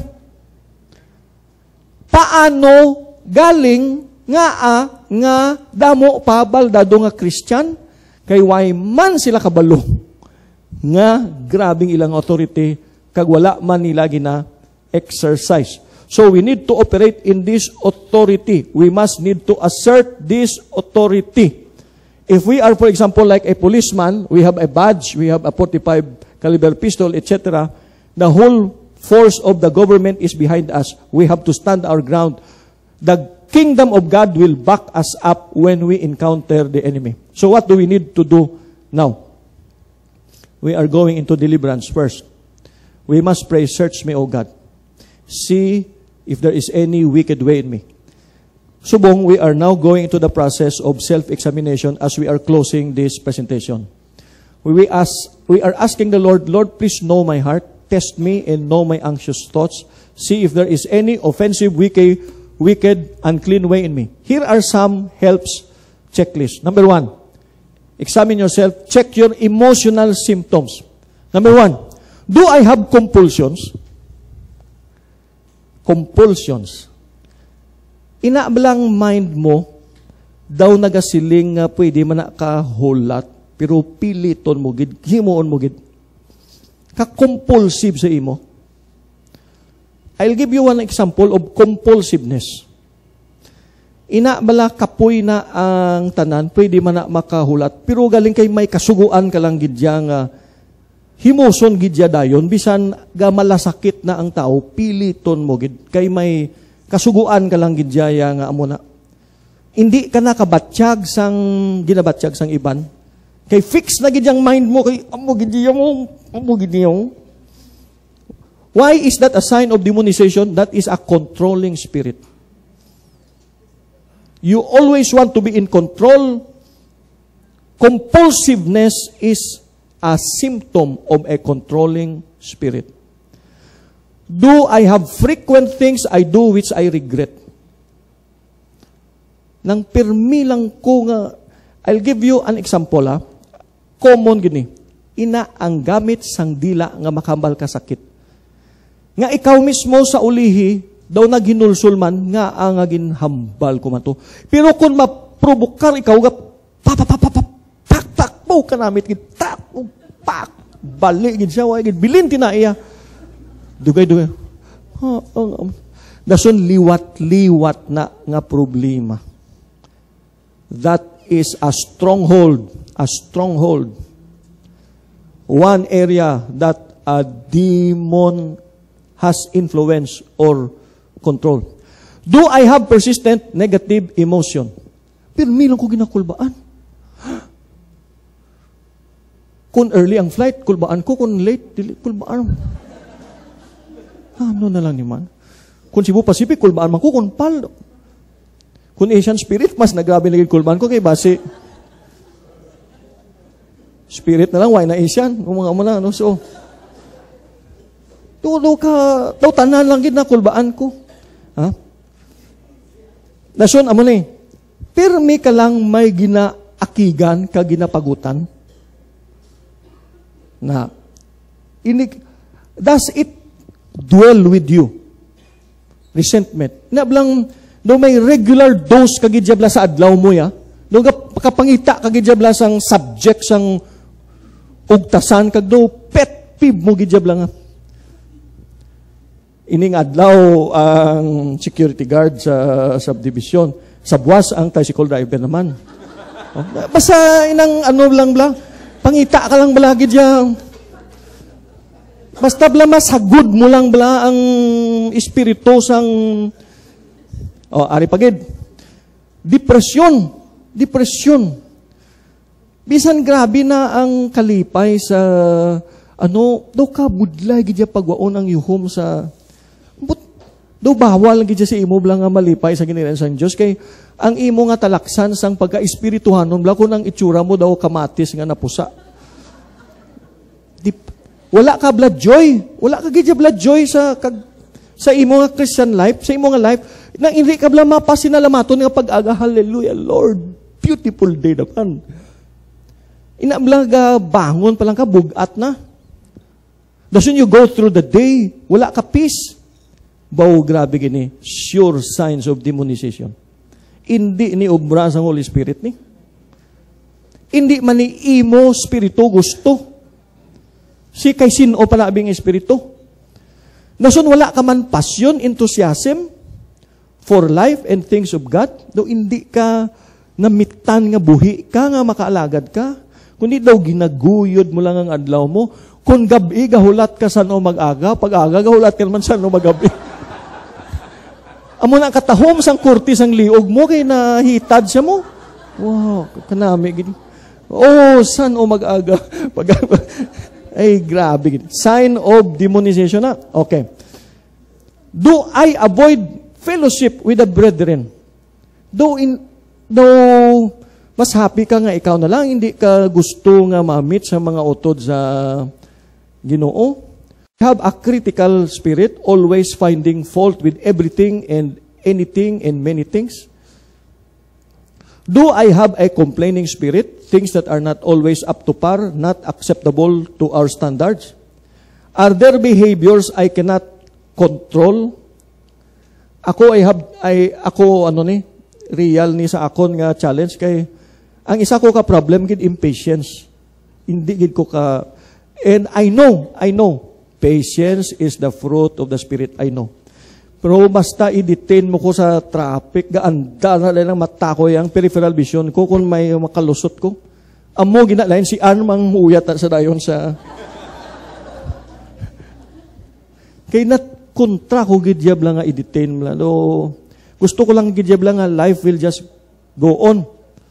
So that that is that is one thing that I had to yield to the Lord and keep on yielding to the Lord because I I hate it when I am being made to wait in in uh, traffic. So kisa bisan layo para basta gagiho lang ah. Basta gagiho lang so I waste more fuel and but I feel better that things are moving. Oh, na amo na no. Ari pagido, ari grabe gini nga sign of demonization no. Terrible gini oh. Am I always in relational trouble? Po, almost every day may issue ka, may problema sa isa ka utod. Sang last week, si anong problema mo? Subong. Ang nagtambag siya naman ang may problema. Si, Lason si Mana may lain naman. Ina, lang daw nag, nagakabuhi ka sa gamo sa relasyon. Do hindi gid ka mapahuwayan sang gamo sa relasyon. Are, are we always feeling harassed not being able to do things from the spirit of rest. This was also a struggle for me and I would like to believe that I have made good progress here because nagiging conscious ko ni. Sang pagsugod diri tudlo sa nihop sang sabat rest. So ginpasud ko rest, rest, rest, rest, rest. Huh. So bisan mag-rest ko, kinahambal ko ni Ann, kis, kisa tulog ko, makawabatsyag ko kamot.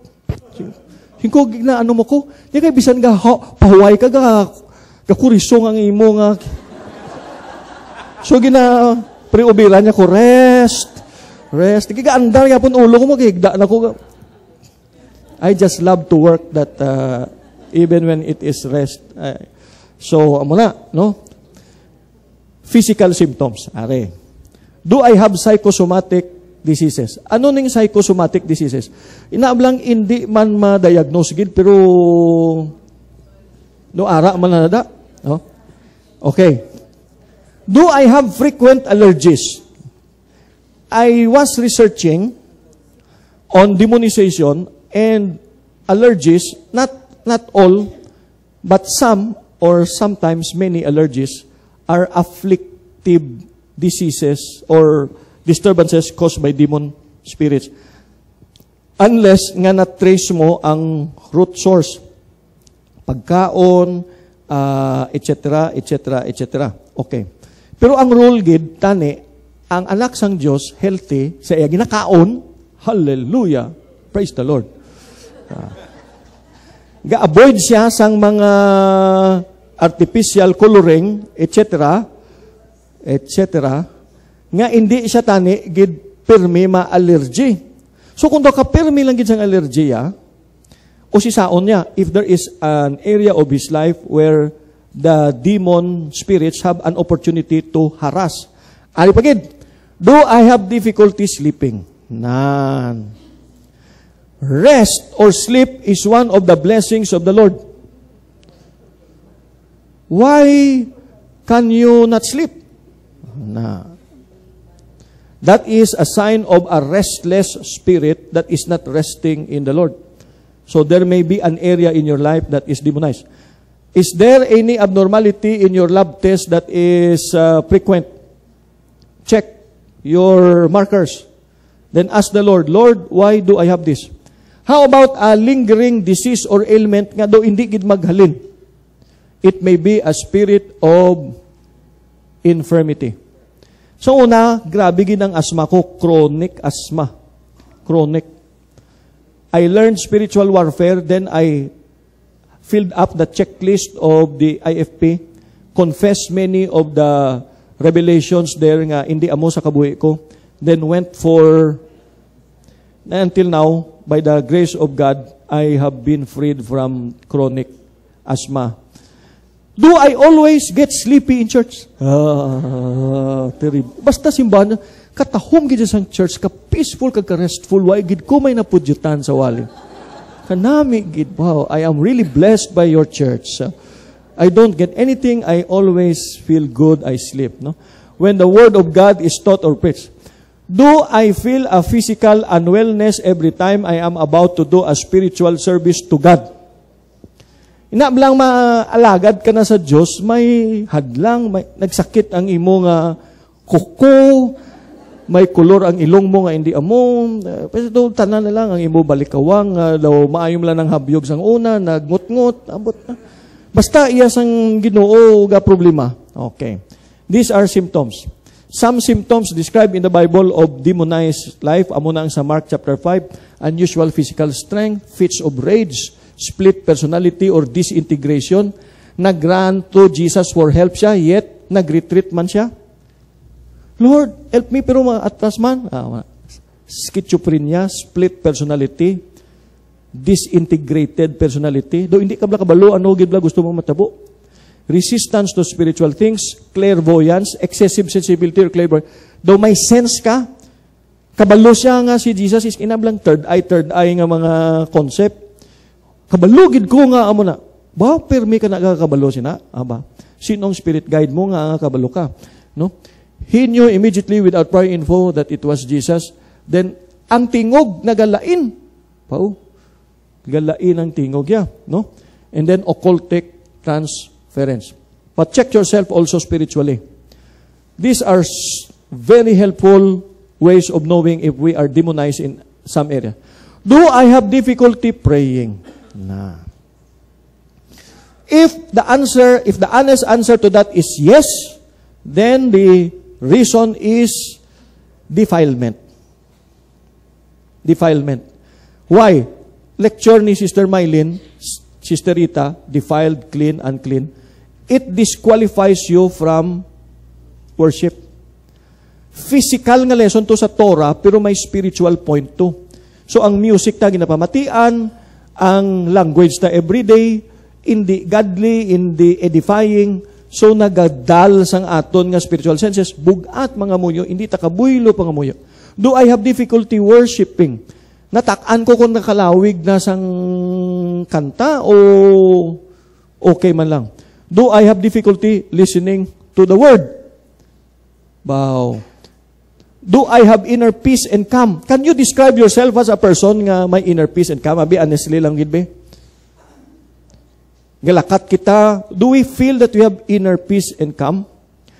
Do I sense a wonderful bonding with the brethren? Kung mag-meet ang mga Christians, do you feel a leap in your spirit? Kanami nga mag... Do I have a hunger to know God more? Do I have an inner impulse to sing to the Lord? Okay. Check your family tree, your history. Is there a frequently occurring sin in the family line? And a frequently occurring disease in the family line? So, i-check mo, are there specific concrete sins in the family tree? Idolatry, witchcraft, sorcery, verbal, physical violence, rage, anger, sexual immorality, broken marriage? Is there an ancestral curse or a verbal curse released against you or your family? May natabo sang una nga si tatay mo nagdesider gid nga pakaslaya si nanay mo kag si lolo mo nagsilinga maigod gid kamo sa kapigaduhon. You try to recall that kung na-confess na siya kag na break because kung wala na na break, kung wala na na confess, that is a legal basis for demonization because of the principle of authority and covering. Your covering is your parent. If a verbal curse has been released, unconfessed, unbroken, it continues to haunt the family tree. Has there been dedication made of you to other entities, beings, or personalities other than God or the Lord Jesus Christ? How about spirit anointings of ancestors? Example, animist ancestors, faith healers.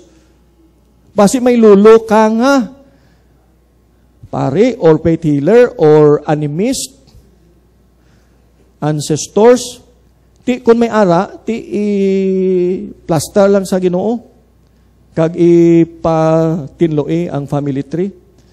How about conception traumas? Sanggin bunag ka, anong sitwasyon sang relasyon ni nanay kag ni tatay mo? Ano ang emotional, spiritual condition ni nanay mo?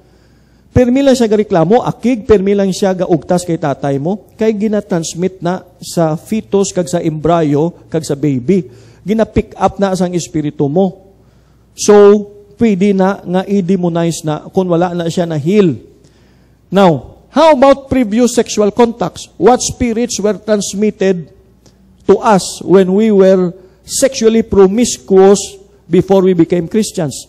Has that been confessed and renounced? Have we asked the Lord to cut off the spirit cross-pollination resulting from illicit sexual contact. Parehas ang Genesis 6 nga problem and situation. How about ang mga organizations nga pang join naton? Uh, okay, before the organization, accursed objects. Is there any accursed object in the house? Examples ang accursed object because When you bring in an accursed object, Genesis 7:26, you also are accursed. That is the Torah. Anything accursed brought into the house curses everything in the house. Okay.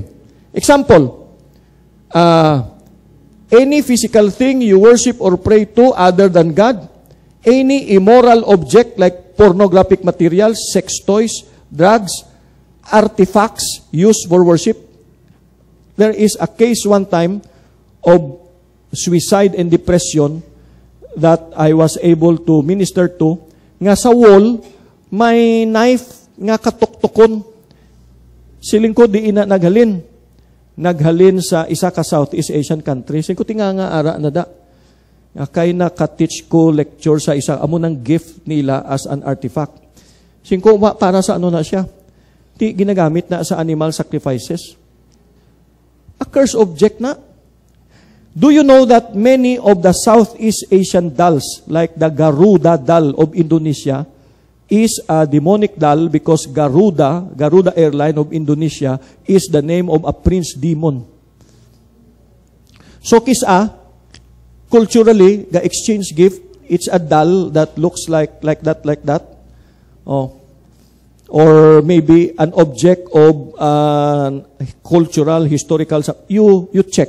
What does it stand for? Is it something that is amuna? Okay. Sometimes they are anointed or prayed over, no? Uh, depicting foreign gods or demons. Have you entered into territories without being covered? Ang mga turista di sa aton nga mahiligid mag-travel, selfie, selfie, picture, picture, okay? Pero ini siya ancient temple. Thousands of years na da ang animal sacrifices, ang ano, galing kay ka picture perfect. Oh, so smile, smile, amo ni, ni nga angle, amo na. That is an accursed place. You, you should not be rejoicing and documenting as if you are so happy to be part of that place when that has been devoted to an antichrist, anti-God activity for hundreds and thousands of years. So you pray for covering. If you are traveling, you pray for covering. Lord, I am traveling with a family. This is something I cannot avoid. Uh, okay, I think, Lord, cover me with your precious blood. I do not approve of what happened. But you do not announce it to the tourist bus. They will throw you into the river. Okay? Okay.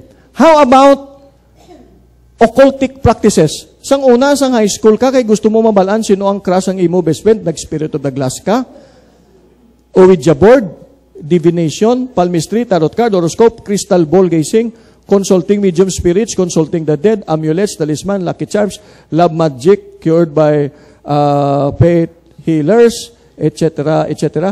Nakaintra ka sa mga astral projection, psychokinesis, speaking in trance, hindi ni speaking in tongues, ha?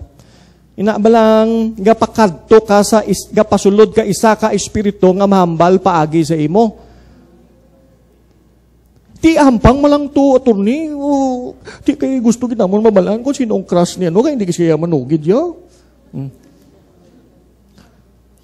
Automatic writing, telepathy, clairvoyance, having spirit guides, rod and pendulum, hypnosis, spirit of the ballpen. Grabe ng I, do not, I did not know that there was a spirit of the spirit of the ballpen. Oh, grabe ng... Ah, Rio. Sororities and fraternities, blood packs, ay, gamay mo lang to. Ano ba kay, kay I need to belong? So, jutay mo lang to ah. Gin, gin mix namon sa ano kag nag-inom kami. Ah. Toning, Mysterious Triangle, Yoga, Silva Mind Control. Okay. Have you joined uh, organizations like INI, Maharishi, Transcendental Meditation, Theosophical Society, any organization that speaks to or prays to any other person other than God the Father, the Lord Jesus. Martial arts? Okay, I will tell you martial arts. Martial arts. You, do you know that Satan is such a cheat? By, by the way, ah, the physical training of martial arts is good. It's the spiritual aspect of martial art where you perform Because ikaw nga brown belt ga amo na sa black belt kag sa port dan kag ato siya may ginasaluduhan pag ito then down through the generations may temples na sila. Shaolin Temple, Kung Fu Temple, whatever where they all do. Then you all pass it on through down the line. So you just did not know that by the principle of surrogate surrogate or vicarious worship, you just worship PBMA, Mount Manahaw Court, Freemasonry, Freemasonry. If there are Masons who are listening to this right now, I ask you in the name of Jesus Christ, the Son of the living God, check your book on Masonry and compare it with the Bible. Check the vows of the Mason What do they say when they promise that they will not betray the secrets of the organization? What do they say? That they agree to have their throats slit and their intestines brought out of their stomach and things like that? You make those vows. I ask you in the name of Yeshua HaMashiach, if you care for your soul, check what it is that you swear to in masonry. Cultic Rizalista. May mga Rizalista who appreciate Rizal as a hero. But the worship aspect, the cultus, the cultic aspect is very dangerous. So now, we commit our life to God, make it definite, repent and confess, you are trusting your life to the Lord Jesus Christ, ask for His help, uproot and remove all demonizations in your life, and ask for the help of His angels. Address the demons and command them to come out. The concept of the city within. We are near the end of this. Few more slides. It's like a city. Proverbs 16:32, Your life is like a city. He who is slow to anger is better than the mighty, and he who rules his spirit than he who captures a city. A man without self-control is like a city broken into and left without walls. Some cities are so beautiful in some aspects, but behind it are slum areas. Some areas of our life, the things that we display in church, display to others, they are so beautiful. But there are areas in our life that are not uh, wonderful at all. So, amo man ang aton nga life. Some areas daw na plaster ta na sa Ginoo, but some areas ginatago-tago ta. So there are areas within our city. Ang aton nga emotion is one part of our city, our mind, our tongue, our sex life, our appetite, our finances, our leisure. Are all these areas of our city yielded to the Lord. Ask the help of the revealer of mysteries, Gela Rash. This is one of the names of God that is very least appreciated. He is a revealer of mysteries. You ask Him, Lord, reveal to me things that are hidden in my life that are the result of my life not being blessed. Lord, nga nga hindi ko blessed, Lord, gidhaw, nga nga daw may ano man. Pray to the God who reveals mysteries. This is his name in Hebrew, Gelarash, revealer of mysteries. There is a God in heaven who reveals mysteries, siling Daniel. He reveals mysteries from the darkness. Mga things nga natabunan, ipagwa yan na. But you have to ask Him. Daniel had to ask because the Lord will not reveal if you do not ask. Ask Him, Lord, reveal the mystery of my life, why I am not, why I'm so ha- unhappy and so If after deliverance, a person becomes delivered, kay ginpakast out mong mga demons na guluwa, then pray for sealing if he or she is a believer or a Christian. I-seal meaning i-close ang gates. Pray that the enemy will not come back and re-enter. But if he is demonized, you had to cast out the demon before you could counsel him. Then the demon has come out, and then he can now listen to you, then share with him the gospel, lead him to Christ, then pray for sealing. Because of if you do not lead him to Christ and Christ does not reside in him, the demon will come back with seven others more wicked than he. And if there is no person stronger than the strong man, the life of that person will be worse than before. Maintain your freedom in Christ. Always trust and abide in Jesus, the stronger than the strong man. Always be led by the Spirit. Always be humble, asking the Lord for help who always wear the armor of God. Strive to develop a life of fasting and prayer. Work with a team.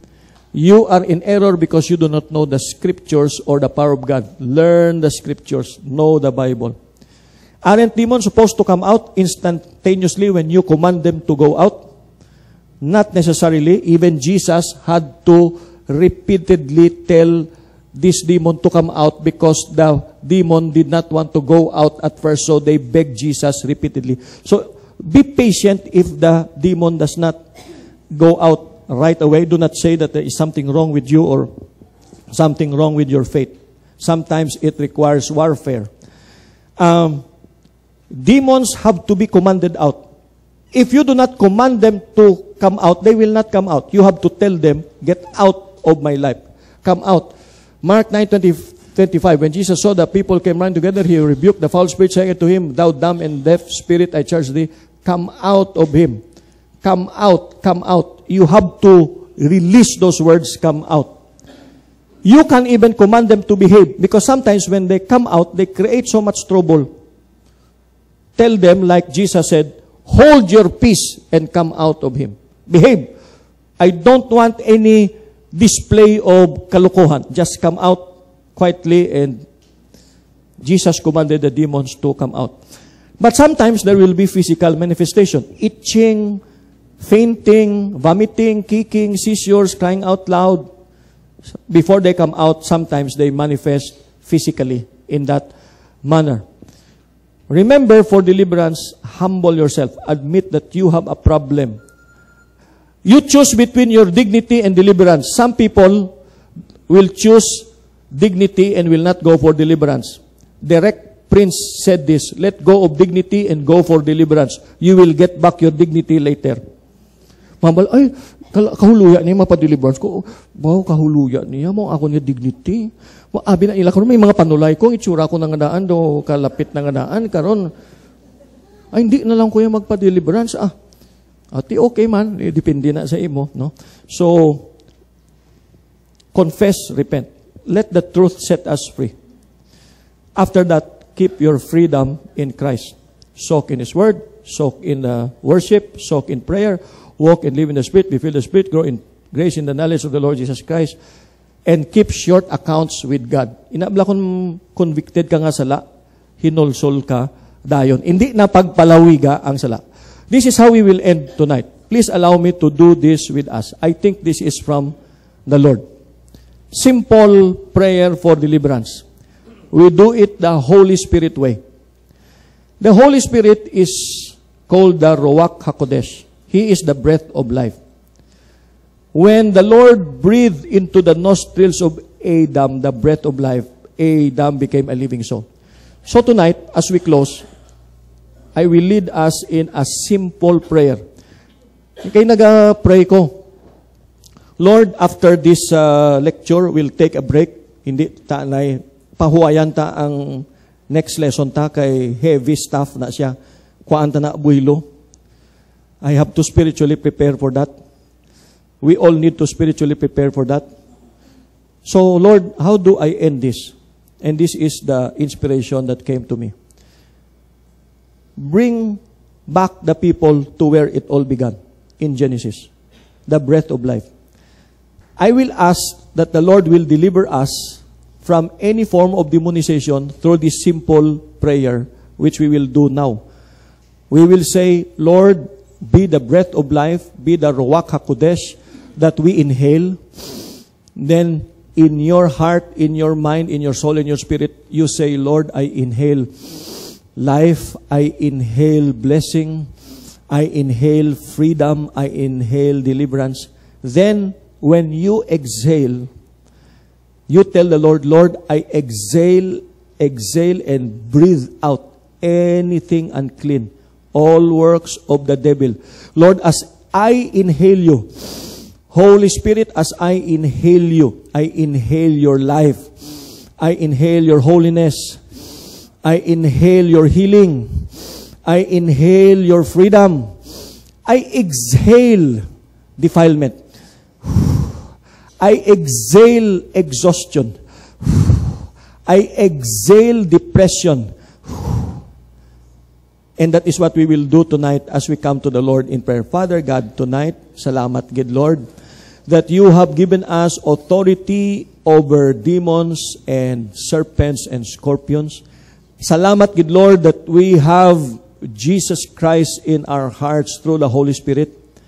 Lord, tonight as we stand on the ground of the cross, we thank you for the blood that Yeshua HaMashiach spilled on the cross that cleanses us from every sin. Lord, we reaffirm with the confession of our mouth that Jesus is our Lord. Jesus is our Savior. Jesus is our deliverer. Jesus is our Redeemer. Jesus is the captain of our salvation. Jesus is our blessor. Hallelujah, Lord. Lord, you have given us freedom, Lord, from the bondage of the enemy.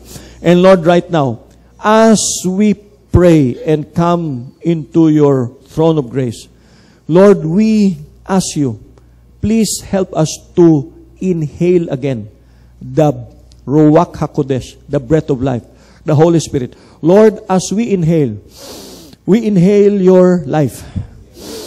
We inhale freedom. We inhale deliverance. We inhale health. We inhale peace. We inhale, Lord God, wholeness. And Lord, we exhale and re- remove and expel all the works of the enemy. Lord, we exhale and, and blow out, Lord, all the, the spirit of infirmity, depression, Lord, all the negative spirit, all the demonic spirits, Lord. Lord, as we inhale you, Lord, exhale out, Lord, all the works of the enemy in Jesus' name. Lord, I pray, Lord, that by this simple act of faith, Lord, right now, people are being delivered, Lord. You are releasing, Lord. Lord, let it come gently, Lord. Let it come gently. Lord, we forbid the enemy from manifesting. We do not want any show, showmanship of the enemy. But Lord, right now, kakita mo, Lord, nakita mo ang tagipusoon sang kada isa sa amon. We are hungry for freedom. We are hungry for deliverance, Lord. Lord, you have come to set us free. And right now, Lord, we inhale your life. We inhale your liberty. Thank you, Lord, for the breath of life. Thank you, Lord, for the breath of freedom. Thank you for the breath of deliverance. And Lord, as we continue to inhale you, Lord, we continue to exhale all the works of the enemy. We rebuke, we renounce, we reject all the works of the enemy. Spirit of poverty, spirit of infirmity, spirit of depression, spirit of fear, spirit of, of disunity, spirit of criticism, spirit of impatience, spirit of rage, temper, anger, spirit of jealousy, spirit of resentment, spirit of unforgiveness, we reject you. Come out of us in Jesus' name. Just come out in Jesus' name. Go out in Jesus' name right now and release the people of the Lord. Release the people of the Lord. Release the people of the Lord. Lord, we ask for the help of your holy angels to just bring out all this demonization, Ginoo. Just cleanse us, Lord. Just purify us, Lord. And Lord, we close all the gates, Lord. We, we do not allow the enemy to come back. Lord, fill us with your Holy Spirit. Fill us, Lord. Fill us with your Holy Spirit. Fill us with your word. Fill us, Lord, with your peace. Fill us, Lord, with your power, Lord. And do not allow the enemy to come back.